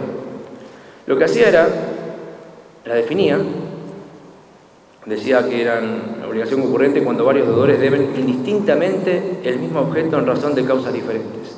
Lo indistinto era un hallazgo, porque justamente es indistinto. Porque los deudores indistintamente. Acá no, no, tenemos como en las solidarias el tema del principio de prevención, que una vez que el acreedor indica qué deudor quiere que le pague, entonces ese deudor es el que tiene que afrontar el pago de la obligación no tenemos esa idea de que, bueno, tenemos que llamar a todos o no tenemos que llamar a todos. Acá, en la idea de lo indistinto estaba, estaba bien, creo que estaba bien. No fue recogida esa idea de indistinto en la definición del 850 del proyecto 2012 que atravesó, en, cuanto a estos tres artículos, atravesó, o sea, salió de comisión, pasó por el Ejecutivo, no sufrió modificaciones, pasó por la Comisión Bicameral, no sufrió modificaciones y finalmente llegó a convertirse en ley con la sanción en ambas cámaras. Así que es el mismo que sale de la comisión. Y cuando uno va a ver los fundamentos, uno intenta a veces entender de dónde salen las cosas, lo que hace en los fundamentos la comisión es transcribir los artículos. O sea, nada. Eh, o sea, no, ayuda de mucho.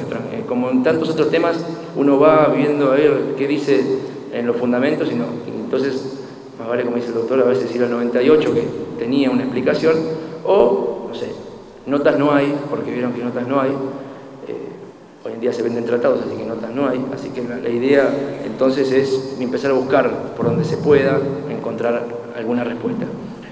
La respuesta del 850 yo creo que está un poco en en el antecedente del 98 y ahí entonces está la definición cuando dice que son aquellas en las que varios deudores, sacaron lo de indistintamente, deben el mismo objeto en razón de causas diferentes. Esto es lo que veníamos hablando sobre esta eh, comprensión de las concurrentes, que creo que es un tema que una vez que uno lo entiende, está la regulación, uno sale de los principios generales del derecho, no va a tener inconvenientes. Así que en cuanto a definición, no hay inconveniente. En cuanto a efectos, algunas precisiones solamente.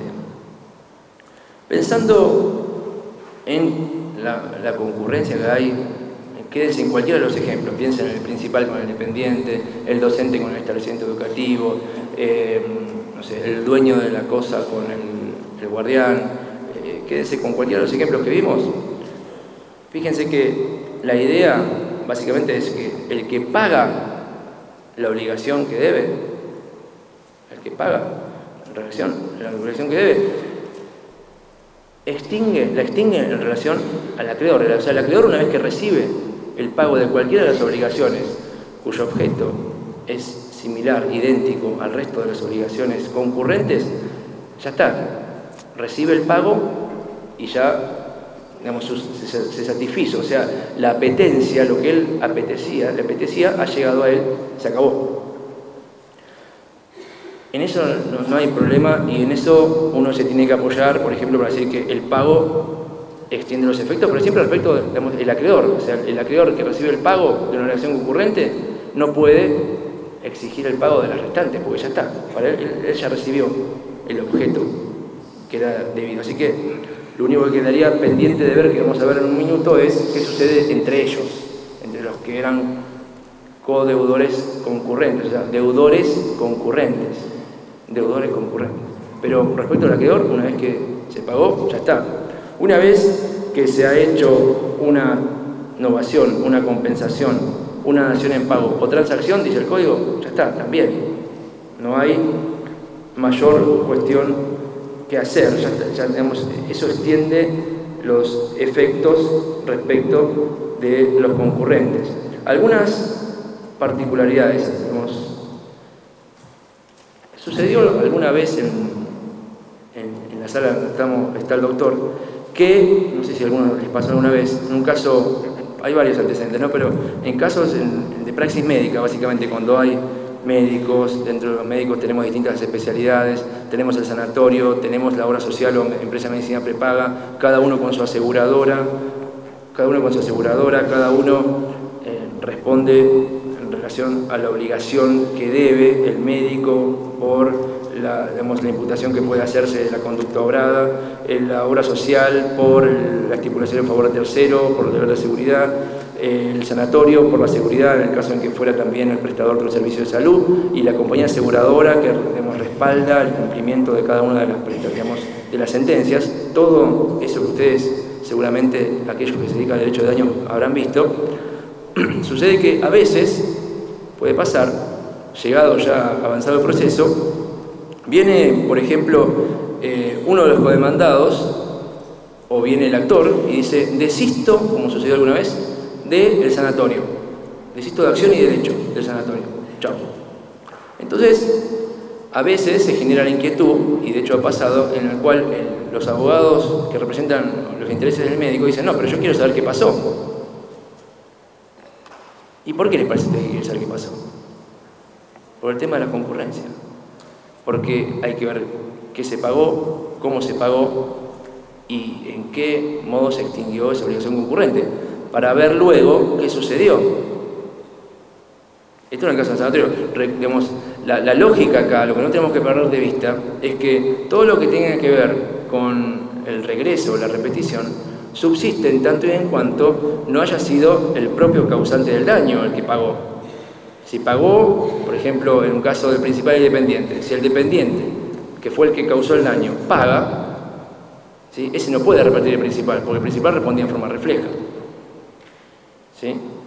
Y lo mismo con el médico, si el médico es el que paga, hay que ver después la, atribución de cada uno. Pero ahí el principal no va, principal y dependiente. Así que fíjense ustedes la importancia a veces de determinar en un tema a veces de procedimiento qué sucede entre los distintos legitimados pasivos de la acción. Luego tener en cuenta también, como les decía, que no hay obligación de traer a todos o reclamar simultánea ni sucesivamente a todos. Lo puede esa opción del, del acreedor. Él demanda a quien quiere y después, obviamente, no va a interrumpir los efectos de la prescripción interrumpida o suspendida o de la mora, cada uno va a ser respecto de la obligación respecto de la que él dirigió la acción. Porque hay concurrencia, son obligaciones distintas. Entonces, interrumpió la, prescripción de un codeudor, es esa acción de esa obligación. No se extiende porque son distintas. Por lo tanto, prescripción va por su cuenta, va por cada una de las obligaciones, la mora va respecto de cada una de las obligaciones, la, la confusión y la renuncia también. Y eso es lo que recoge básicamente el 851, además de hacer una, una respecto de la sentencia. Respecto a la sentencia, pasar la autoridad de cosas juzgadas, después véanlo ustedes, leanlo tranquilas en sus casas esta noche cuando llegan a su casa y agarran el código y dicen voy a leer el código civil antes de irme a dormir. Bueno, entonces, cuando uno tiene ese momento así de paz y tienen ganas de leer algo, agarran el 851, el inciso G, y van a ver que hablan de la sentencia pasada en la autoridad de cosa juzgada.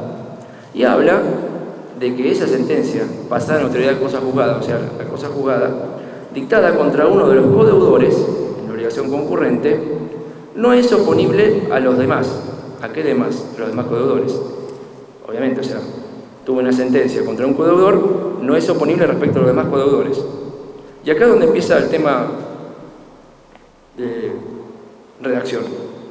Pero estos, o sea, seguimos hablando de los codeudores, pueden invocarla. ¿A quién puede invocar? A la cosa juzgada. ¿Vieron cuando analizamos sujeto? Bueno, invocarla cuando no se funda en circunstancias personales del codeudor demandado. Yo lo que creo que hicieron asimilar es el régimen de la cosa juzgada en las solidarias. Creo que lo que hicieron fue hacer eso. Ahora, la redacción quedó confusa, porque una cosa es la invocabilidad de la cosa juzgada y otra cuestión es la inoponibilidad entre codeudores de la cosa juzgada o la inoponibilidad de acreedor contra codeudor. Dada la hora de la tarde, no es mi idea que logremos entender juntos toda esta redacción, por eso les dije cuando lleguen a su casa 851 inciso G. Pero vean ustedes que habla siempre de los deudores y del deudor, y en definitiva una cosa es la invocabilidad y otra cosa es la oponibilidad. Entre codeudores la cosa jugada es inoponible, porque cada uno tuvo su acción y fue demandado por las de él. Ahora, para invocar una sentencia que, en la que fue, en este caso pareciera, es lo que yo pienso, en la que se rechazó la acción respecto de un codeudor porque me parece que ahí está el punto, debe haber sido un rechazo que no se fundara en el hecho personal del codeudor demandado. Ejemplo, el hecho no existió. Entonces, se demandó sobre el dependiente, se rechaza la demanda porque no se prueba la existencia del hecho, entonces el hecho no existió, se prueba que el hecho no existió, y luego no se puede demandar al principal. Si demanda al principal, el principal se puede excepcionar diciendo obligación concurrente, hay demanda, traiga por, digamos, juicio conexo, o por, eh, digamos, como prueba el juicio en el cual eh, se demandó al eh, codeudor concurrente, al deudor concurrente y entonces vea usted, señor juez, que se lo exoneró. ¿sí? Hay todo un tema también procedimental, que tampoco es el caso acá hablarlo, respecto de la acumulabilidad o no de las acciones. Vieron que a veces uno pide la acumulación o no, si va a acumulación o no va a acumulación, o si pueden cada uno eh, tramitar por vía separada en, distintos juzgados. Eso lo dejo a su criterio, como diría Karina eh, lo vemos otro día, por algún momento si no hay inquietud, nos, nos ven.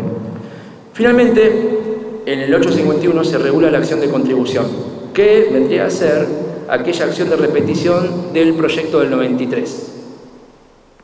En el 98, como delegaba todo para las obligaciones solidarias, había ahí un tema con la contribución que fue criticado porque asimilaba también en un punto las concurrentes con las solidarias. En este código que va a regir se regula la acción de contribución como efecto de, o regla digamos, de, las concurrentes y también se habla de que cada uno, de los restantes eh, deudores concurrentes puede repetir digamos, una vez que satisface el pago de la prestación a su cargo, puede repetir de los restantes codeudores, siempre digamos, rigiéndose eh, por la relación causal que originó la concurrencia. Y para eso les traje un caso que falló la sala K, casualmente, foto doctor, doctor Hernández en este caso, una vocal que está junto al doctor Damián. En ese caso, la, idea fue la siguiente, porque uno cuando habla de relación causal no es tan, digamos, uno va a causalidad y todas las teorías de causalidad. Y tiene que ver y no tiene que ver con eso. Tiene que ver con la incidencia causal de la imputación, que pudo haber sido con un factor de atribución objetivo o subjetivo. Tiene que ver con la incidencia causal de la imputación, sea cual fuere el factor a partir del cual se hizo responsable al deudor concurrente. Les traigo un caso en el cual se determinó en una sentencia de daños una concurrencia y especialmente el sanatorio, porque en un caso de praxis médica, pidió como parte de, los agravios, y lo pidió también el alegato, y lo pidió al contestar la demanda, que el juez y la Cámara dispusieran eh, cuál iba a ser a los fines de una eventual acción de regreso entre los codeudores, cuál, cuál era el porcentaje de responsabilidad en el hecho. Entonces, la sala dispuso que el 30% era para uno de los médicos, el 30% para el otro médico que había intervenido, y luego el 18% para un ayudante de cirugía, y el al sanatorio le dio el 22%. 22 que se dividían a su vez en un 15% para un médico cardiólogo de guardia y el 7% para un pediatra. 100% da, quédense tranquilos, queda 100. 30, 30, 18 y 22. Pero el 22 del sanatorio se dividía a su vez en lo que había sucedido o la conducta había sido juzgada de un cardiólogo, un cardiólogo de guardia y un médico pediatra. Eso se hizo en la sentencia del juicio de daños.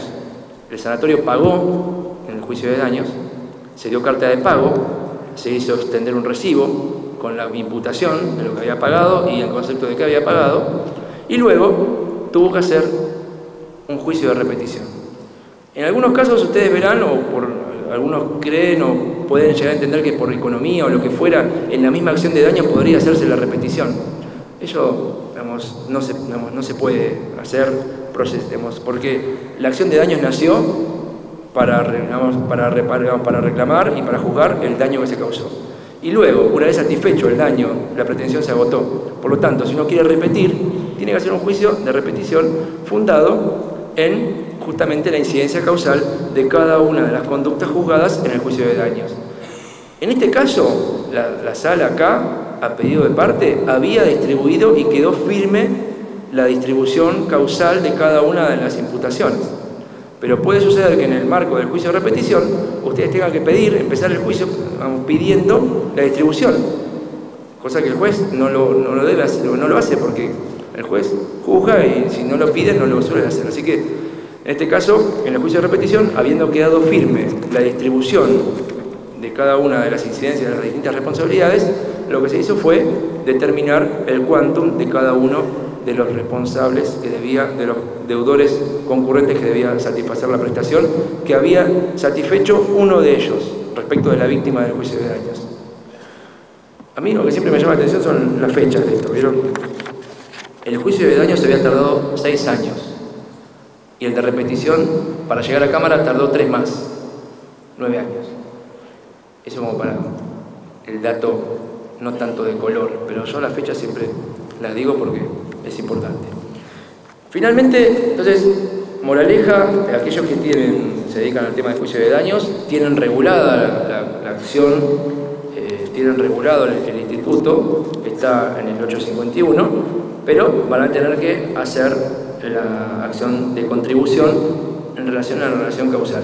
Y cuanto mayor claridad tengan respecto de que son obligaciones distintas y que se debe determinar la, la, relación causal o la incidencia causal de cada una de las conductas juzgadas, mejor va a ser para ustedes para que luego puedan hacerla jugar en el juicio de repetición. ¿Sí? Finalmente, como normas subsidiarias, establece y deriva a las normas de las solidarias, así que en eso no, no hay ningún problema.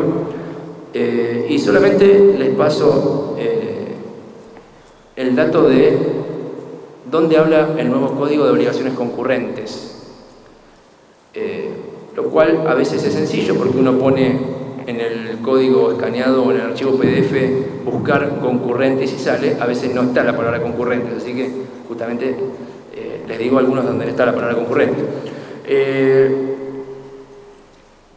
1042, esto bueno, parece pasar la quiniela, pero no es eso. 1042, obligación de saneamiento, que incluye y, evicción y vicios ocultos, habla del caso de transmisiones sucesivas y dice que los distintos sujetos que realicen transmisiones sucesivas deben concurrentemente la obligación de saneamiento. Concurrentemente, cada uno debe su obligación respecto de el acreedor que es el final, el, último de la cadena, a quien se le debe el saneamiento, evicción y vicios redivitorios u ocultos, según el lugar. Luego, en ruina de la obra, también encontramos que el código se refiere a obligaciones concurrentes, entre quienes el constructor y aquel, por ejemplo, que venda el predio o se dedique a la venta como modo, digamos, al revendedor del, del inmueble, el constructor, el que revende o vende el inmueble, o el mandatario o el contratista, o todos los que intervienen como subcontratista, proyectista o director de la obra. Artículo 1273-1274. Luego se refiere a obligaciones con causas distintas en casos de actividad peligrosa, artículo 1751 aquellos que inciden cada uno con su conducta en actividades que generan un riesgo, cada uno va a responder en forma concurrente. Luego, lo que era el 1113, el primer párrafo, es 1753, el principal y el dependiente responden en forma concurrente. 1754 tiene dos párrafos, habla de la solidaridad de los padres, pero es de los padres respecto de la víctima del daño causado por su hijo, y luego de la concurrencia que puede haber entre padres e hijo, hablando de hijo ya con mayoría de edad capacidad para discernir lo bueno y lo malo, lo, que lo malo básicamente, que estamos ahora en los 10 años seguimos porque cambiaron los 13, 10 años. Sí. 1758, el dueño o guardián de, de, cosas riesgosas, que sería nuestro actual 1113, segundo párrafo, segunda parte, 1758. Y finalmente, dueño de animal y guardián de animal también concurren como responsables frente al que sufra el daño producido por el animal y no distingue tipo de animal. 1759. Como bien, como les decía el doctor Ameal, hay uno que salió del puerto y no llegó a destino, que es el 1765, que decía que era concurrente la obligación del Estado y, y el funcionario público. Ese no llegó a destino, quedó ¿Sí? Entonces, una cosa más, si se lo preguntan alguna vez o les pasa, les va, les va a surgir la inquietud quizás desde digamos, aquel que paga la obligación concurrente, desde cuándo le son debidos los intereses. Uno podría pensar, en primer lugar, desde que pagó, pero en general la mayoría de la jurisprudencia y la doctrina, con diversos antecedentes, se inclinan por determinar que acá eh, hay que constituir en mora al que era compañero deudor, al deudor concurrente, entonces hay que intimarlo al reintegro de la suma que uno afrontó, determinar la suma, y entonces sí, uno, a partir de la constitución mora y como efecto propio de la mora, se generarán los intereses. ¿Sí? Eso es más o menos lo que tenía para compartir. Después el partido cómo sale, o si pasamos a cuartos, no lo sé. Así que gracias por la atención. Pasamos allá por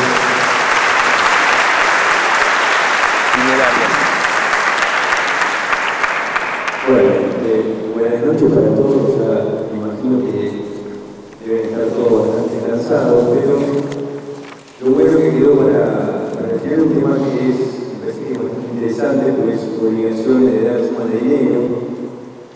Y es un tema que va a traer este, algunas diferentes interpretaciones por parte de la doctrina, también por parte de la jurisprudencia, pienso yo, cuando entre en vigencia el nuevo código.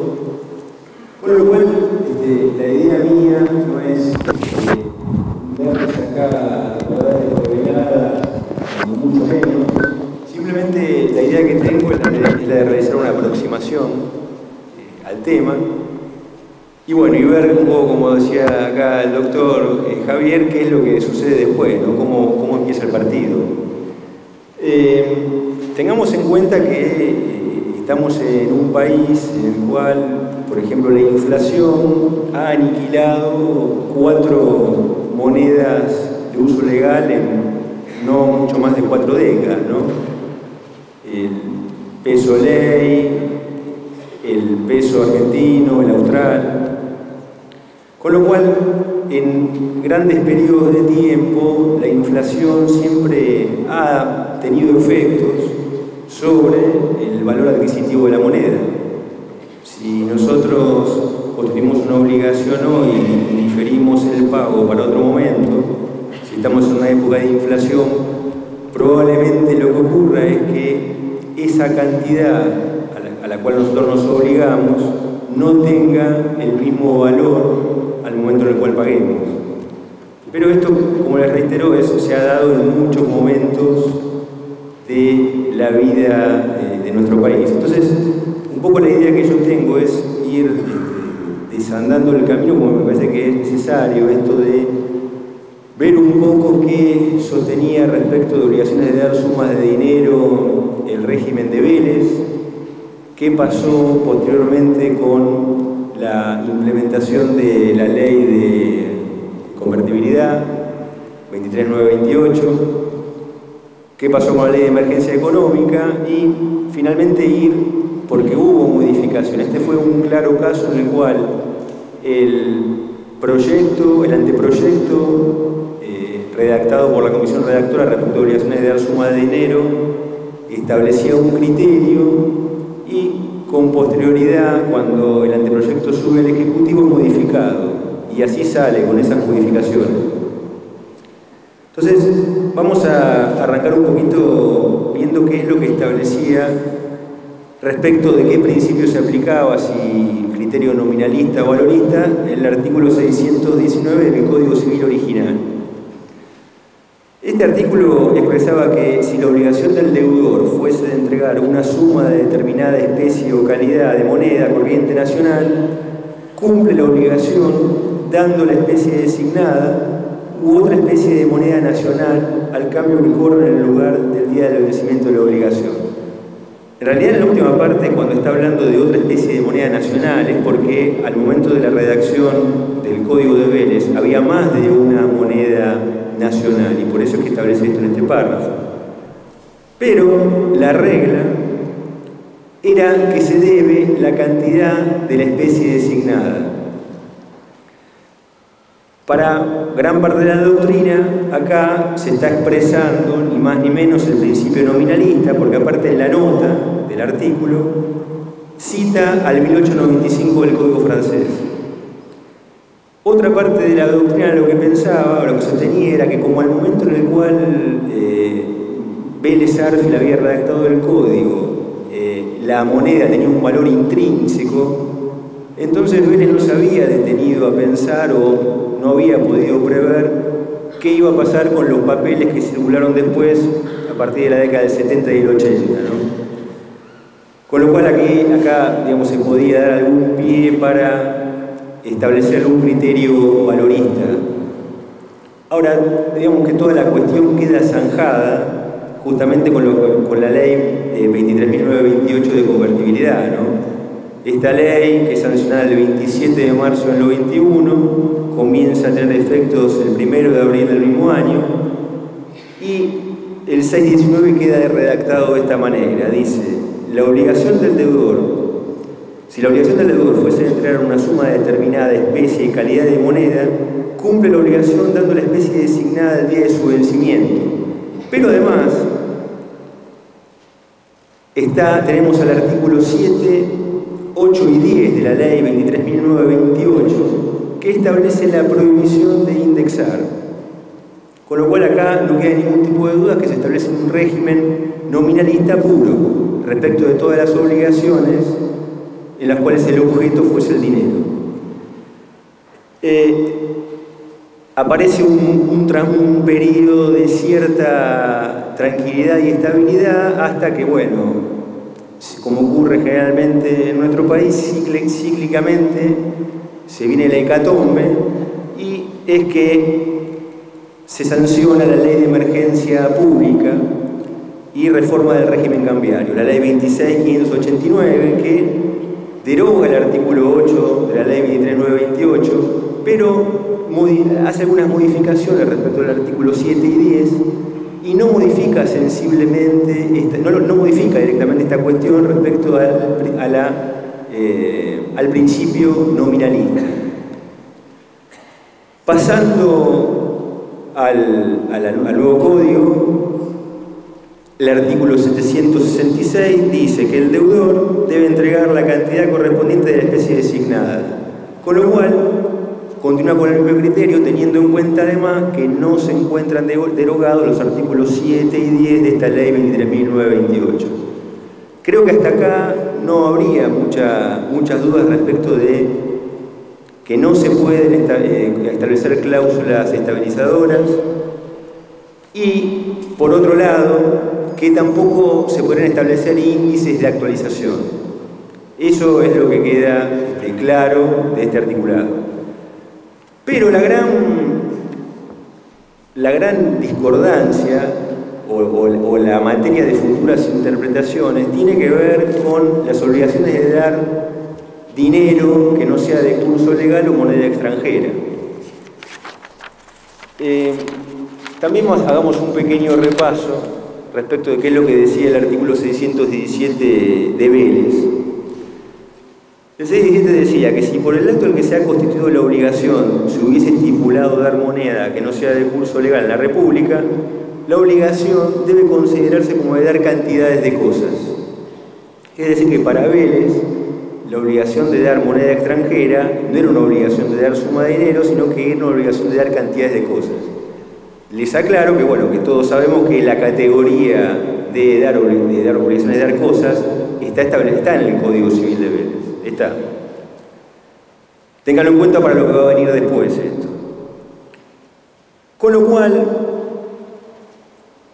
está también, este, también había alguna discordancia respecto de este, la posibilidad de eh, pagar, que el deudor pagara con el equivalente en moneda nacional de esa moneda extranjera, eh, en este caso, por ejemplo, Altenizo tenía que el carácter de moneda, si, digamos, si en el contrato estaba establecida moneda, moneda extranjera, eh, el carácter de esa moneda era esencial en el contrato, por lo cual no se podía pagar con una moneda diferente a esa, tampoco se podía pagar con una moneda diferente si si ese contrato tenía efectos fuera del territorio nacional.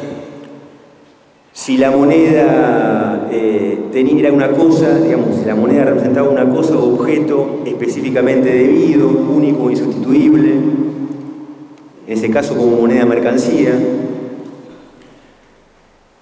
pero posteriormente también se reforma el artículo 617 por la ley 23.928. lo que hace esta ley es legitimar el uso voluntario de la moneda que no es de curso legal. ¿Qué es lo que dice el, es lo que artículo? Que es el que actualmente está vigente. Si por el acto por el que se ha constituido la obligación se hubiera estipulado dar moneda que no sea de curso legal en la República, la obligación debe considerarse como de dar sumas de dinero. Es decir, que con los contratantes tienen la absoluta libertad de contratar moneda de curso legal o en moneda extranjera.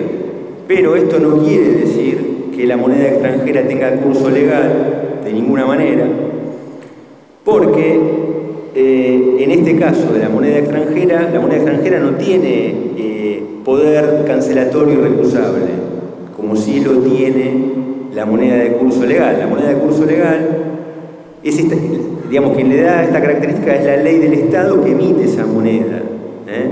que le da esta facultad de tener poder cancelatorio y recusable. Bueno, la moneda extranjera no la tiene, solamente el acreedor va a estar obligado a recibir moneda extranjera si el pacto que se hizo fue en moneda extranjera.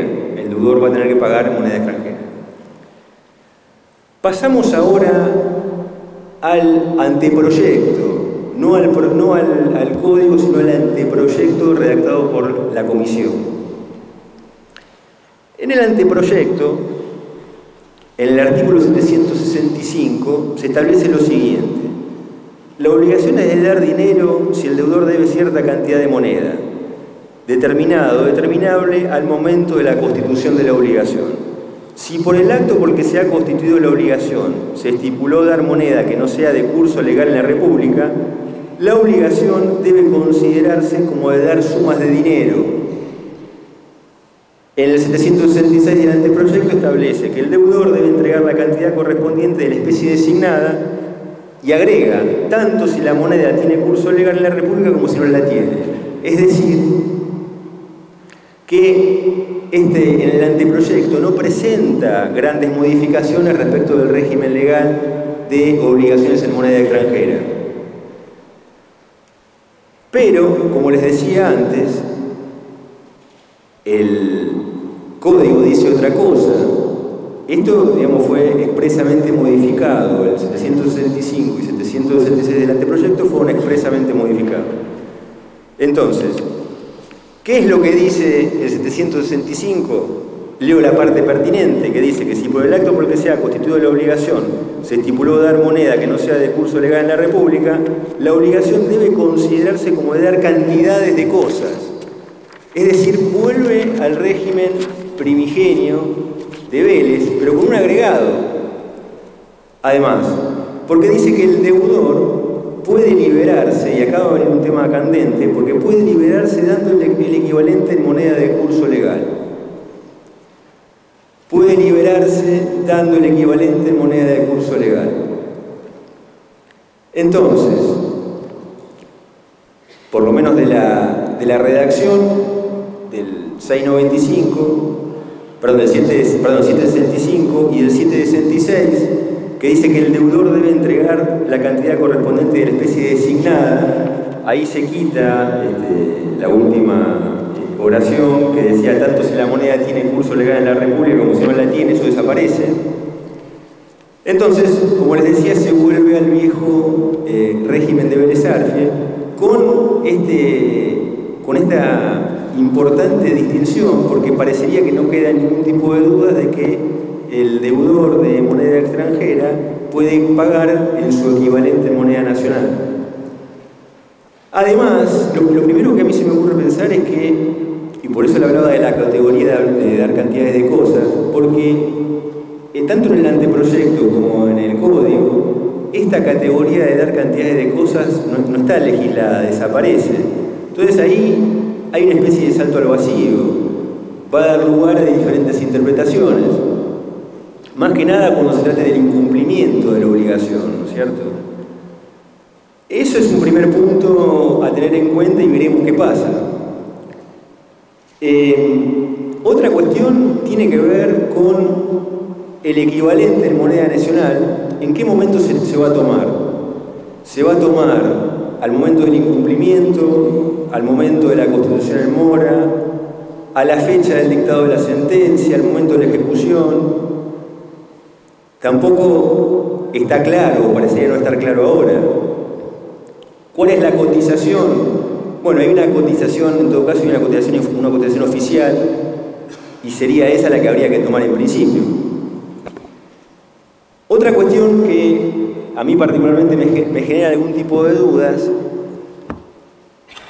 tiene que ver respecto a cuál es el alcance de estos artículos, 765 en adelante. ¿Son normas imperativas son normas supletorias? Cuando por ahí uno lee lo que, dice, lo que dijo el Ministerio de Justicia al momento de elevación del proyecto, bueno, parecería que hablaba de que se trataba de normas este, supletorias. Hubo algún trabajo también acá en, la facultad y la doctrina también parecería decir que se trataría de normas supletorias, o por lo menos en el primer esposo que se hizo. Ahora, también uno puede pensar que toda regulación de moneda es de carácter imperativo. Si fuese de carácter imperativo, la verdad que parecería que no quedan dudas de que está esta facultad del deudor de pagar el equivalente en moneda de curso legal. Ahora, si uno interpreta o pudiese pensar que son normas de carácter supletorio, vía autonomía de la voluntad, las partes podrían pactar que la moneda de pago sea solamente esa moneda extranjera a la cual el deudor se había obligado. Pero acá también va a haber que, pienso yo, a echar mano a la, causa fin de la obligación, a la causa fin.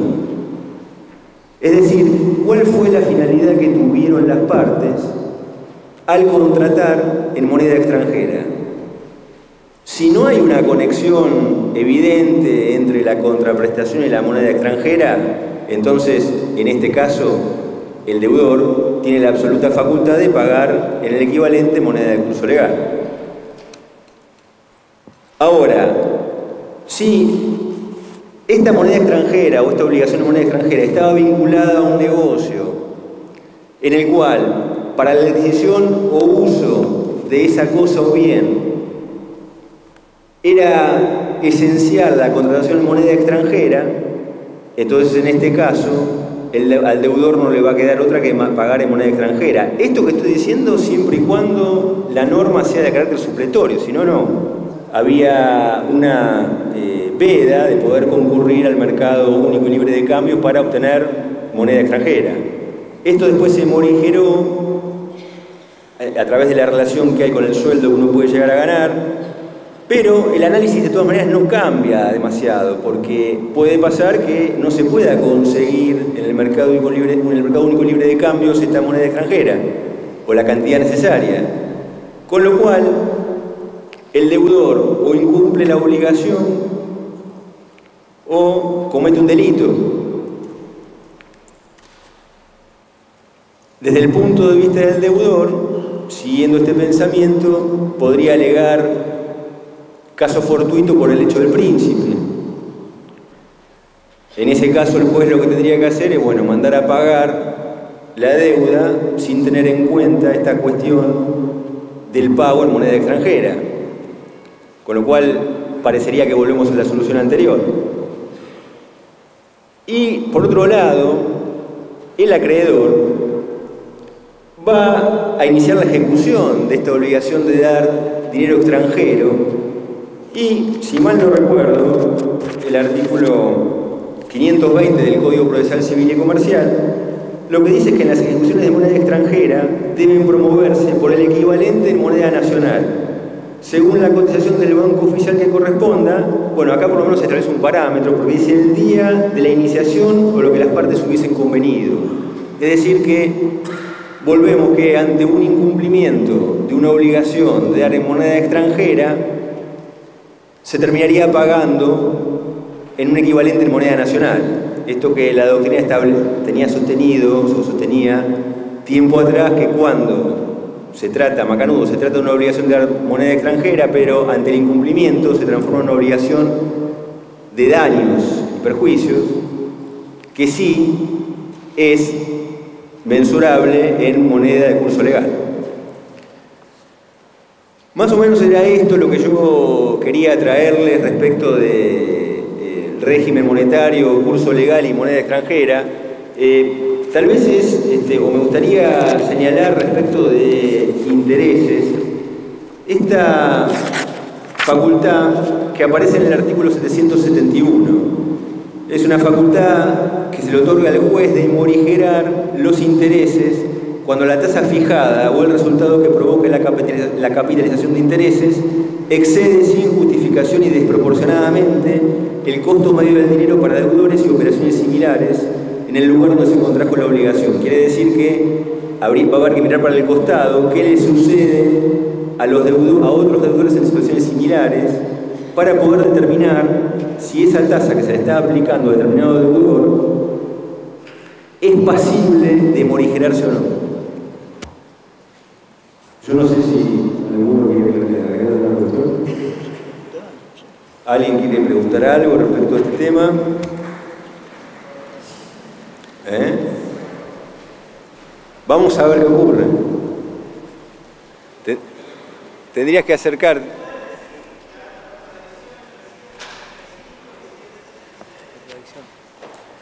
Sí, la a ver, la contradicción, este, sí, a ver, en teoría habría dos contradicciones, una con el 766 y otra con el 1390, ¿no? Ahora, el 766, ¿por qué está la, contradicción? Porque dejan esta parte que estaba establecida en el anteproyecto, que dice que el deudor debe entregar la cantidad correspondiente de la especie designada, ahí aparecería la contradicción, de la especie designada. Ahora, si estamos hablando de que se puede dar, eh, digamos, se puede pagar en moneda de curso legal, la especie designada es moneda de curso legal. Otra cuestión tiene que ver con el artículo 1390 y siguientes que regula los contratos bancarios, porque ahí también se dice que hay una contradicción, pero en realidad para mí no hay una contradicción ahí, para mí hay un régimen general respecto de obligaciones de dar sumas de dinero y un régimen particular ¿Qué hace a lo contrario a los contratos bancarios? Es decir, cuando uno le presta plata al banco, el banco le presta plata a uno moneda extranjera, el prestamista lo que quiere es que le devuelvan en la especie designada. Y esto tiene que ver con, tiene que ver con este, la seriedad y la seguridad de los negocios, de los contratos bancarios. Por eso es que para mí en ese sentido no hay ningún tipo de, de contradicción.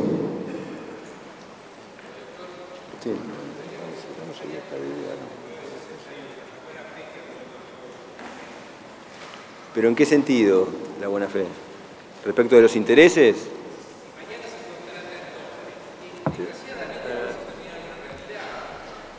Sí.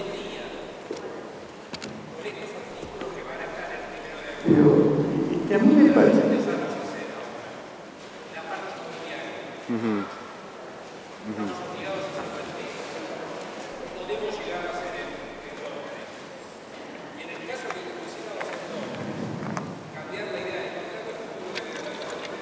Sí, pero lo que ocurre es que acá se dan cuenta ustedes cómo se redactó esto. No por acaso entre 765 y 766 una especie de contradicción. Entonces a veces lo que creen que saben, no saben. Quieren el fin que persiguen es uno, pero ese fin no se dan cuenta que va en contra del mercado, de la comunidad, de los usos, de las costumbres. No se puede esto regir eh, porque, por capricho, porque incluso el régimen de Vélez era distinto, era en otra época.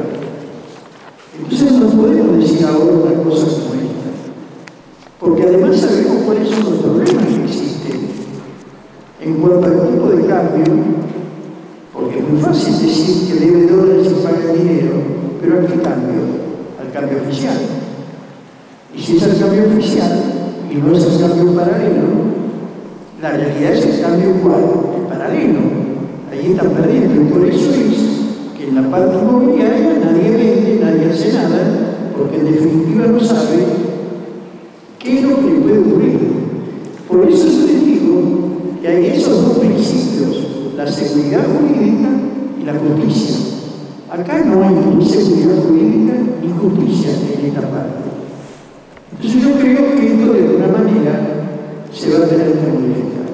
Por otro lado, fíjense que cuando los contadores se ponen a legislar y no tienen en cuenta otra cosa que lo que les dicta lo que tienen en mente, cometemos torpezas, llámese de conectividad o no, o llámese lo que quieran. Pero ese es el problema, porque la ley de convertibilidad toma lo que les gusta, la prohibición de cláusulas estabilizadoras, pero no lo que les disgusta, en donde la moneda extranjera era moneda, era dinero, mejor dicho. Y ahora lo remiten, teóricamente, a las cantidades de cosas no se dan cuenta, y yo se lo dije, que habían dejado sin efecto esa división entre obligaciones de género y obligaciones de cantidad. Entonces, como dijo el doctor recién, también esto es un salto al vacío. Yo creo que camino se hace andar. Vamos a ver cómo se comienza a aplicar. También es cierto que esto podría ser una norma suspensoria, no sé hasta qué punto es norma suspensoria, porque es norma suspensoria para los que creen que pactar dinero en dólares se podría establecer como condición esencial de validez del contrato pago en dólares. Claro, pero acá, si eso se pacta de esa manera, si es una condición esencial, podría ser que tuviese este andamiento. Pero con esta norma Ustedes saben que una operación normativa, la norma imperativa del, código o de estatutos particulares, de leyes especiales, la autonomía de la voluntad, pero la autonomía de voluntad cede a la norma imperativa. Si esto es norma imperativa, y yo creo que están convencidos que sí, evidentemente no, no podemos ir contra lo que dice el, el, el código. Y además tenemos que tener en cuenta que no es lo mismo lo que ocurría ahora que lo que ocurría en 1871 en el país. Ese es el problema mayor. No podemos improvisar una legislación y aplicarla sin tener en cuenta lo que ocurre en el país. A veces nosotros miramos a, Europa y queremos traer la legislación europea y aplicarla a nosotros, y nosotros no podemos porque son este, distintas situaciones. Y como el derecho pretende regular en forma justa las conductas humanas, esto así no es derecho. Ese es el problema, pero lo que ocurre que ustedes dicen, bueno, ¿cómo podemos sacarle a la roca agua? Y no podemos. Yo, entiendo, por ejemplo, las inmobiliarias están paradas. Hace dos años están parados. Y los que venden no quieren vender porque quieren que les, paguen, que les paguen dólares. Y si no viene el dólar cash, que lo consiga donde lo consiga, no venden nada. Ahora imagínense si pactan en un contrato esto, después se lo convierte en pesos y se lo dan a un cambio que no es el real, nadie va a querer correr ese albur. Por eso que en este caso habrá que ver qué es lo que va ocurriendo. Esta es una norma que yo creo que de alguna manera van a tener que restablecer. Este es el servicio del hombre a la economía y no de la economía al hombre. Entonces acá lo que pretenden es resolver problemas económicos. ¿Y quién es el que paga el pato roto? El hombre. Esto no es legislar. Por más que digan otra cosa.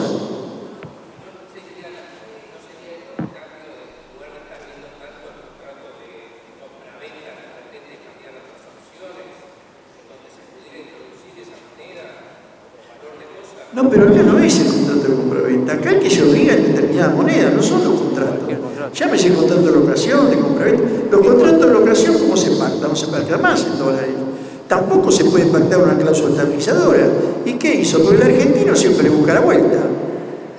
Nosotros somos bárbaros. ¿Qué escalonamos el, el, el, canon locativo. Para el primer año tanto, para el segundo año tanto, y por ahora va dando resultados. En la época famosa de, Alfonsín, La primera época democrática, al final, el que se acuerda de eso era terrible, era, se, reajustaba, primero trimestralmente, después bimestralmente y después mensualmente se reajustaba, de acuerdo al índice del precio de de los, del mercado eh, consumidor o del mercado de los bienes agropecuarios o algo así. Pero el INDEC funcionaba. Ahora tampoco usted puede, no se admiten cláusulas estabilizadoras y tampoco este, funciona un INDEC que, realmente establezca los vaivenes de la economía y la inflación o deflación, si lo hubiera, porque nadie cree. Y si no hay confianza, por más que no digan ni le contradigan, bueno, acá tenemos que tener en eso. Y, y yo le digo la verdad, cuando llegue el momento lo vamos a tener que resolver. Y yo siempre en todo pretendo buscar vías que permitan resolver el caso con justicia. Porque si no, el juez es muy fácil. ¿El juez qué hace? Normalmente los jueces cuando tienen no quieren problemas, aplican la ley. Y, ustedes a quién le van a echar la culpa? A la ley. Pero el juez, por eso le empecé diciéndole lo que yo entiendo por derecho. Yo entiendo por derecho aplicar, interpretar la ley con equidad. Entonces hay que buscar en todo el ordenamiento jurídico, no solo en esto, sino en la Constitución, porque está el derecho de propiedad que hay que respetarlo también. Son garantías constitucionales, la igualdad de trato. Evidentemente, eso tenemos que tener en cuenta. Y pueden ser atacados algunas cláusulas por inconstitucionales. Porque me imagino en ese momento, cuando llegue la instancia, harán eso los abogados. Y los jueces tendrán que aplicar todo. No tendrán que aplicar esto nada más. Por ejemplo, nosotros no vamos a aplicar nada más que el código. Por eso yo de entrada le dije, el plexo normativo es complejo. Constitución Nacional, tratados internacionales, pero para todo, ¿eh? No para esto nada más. En el derecho de familia hay grandes problemas. Por el derecho de familia decidieron cuatro que no hay daños en el derecho de familia. Es una isla dentro del, derecho civil. Porque el derecho de daños, ustedes van a ver cuando lleguemos, que lo vamos a defender, el derecho de daños es como el agua que se va metiendo entre medio de, en el, derecho de los derechos personalísimos, en el ámbito contractual, en el ámbito obligacional, en los derechos legales, en los derechos de familia. Eso se discutió hace no sé cuánto tiempo. El único que opinaba distinto en aquel momento era Diga de Guijarro y ahora estaba Rinesi en corriente, solitario. Y el resto estaba convencido total de que en el derecho de familia había responsabilidad civil. Pero no, ahora aparentemente decidieron que no. Yo me voy a poner a estudiar derecho de familia porque evidentemente no, no soy especialista en el derecho.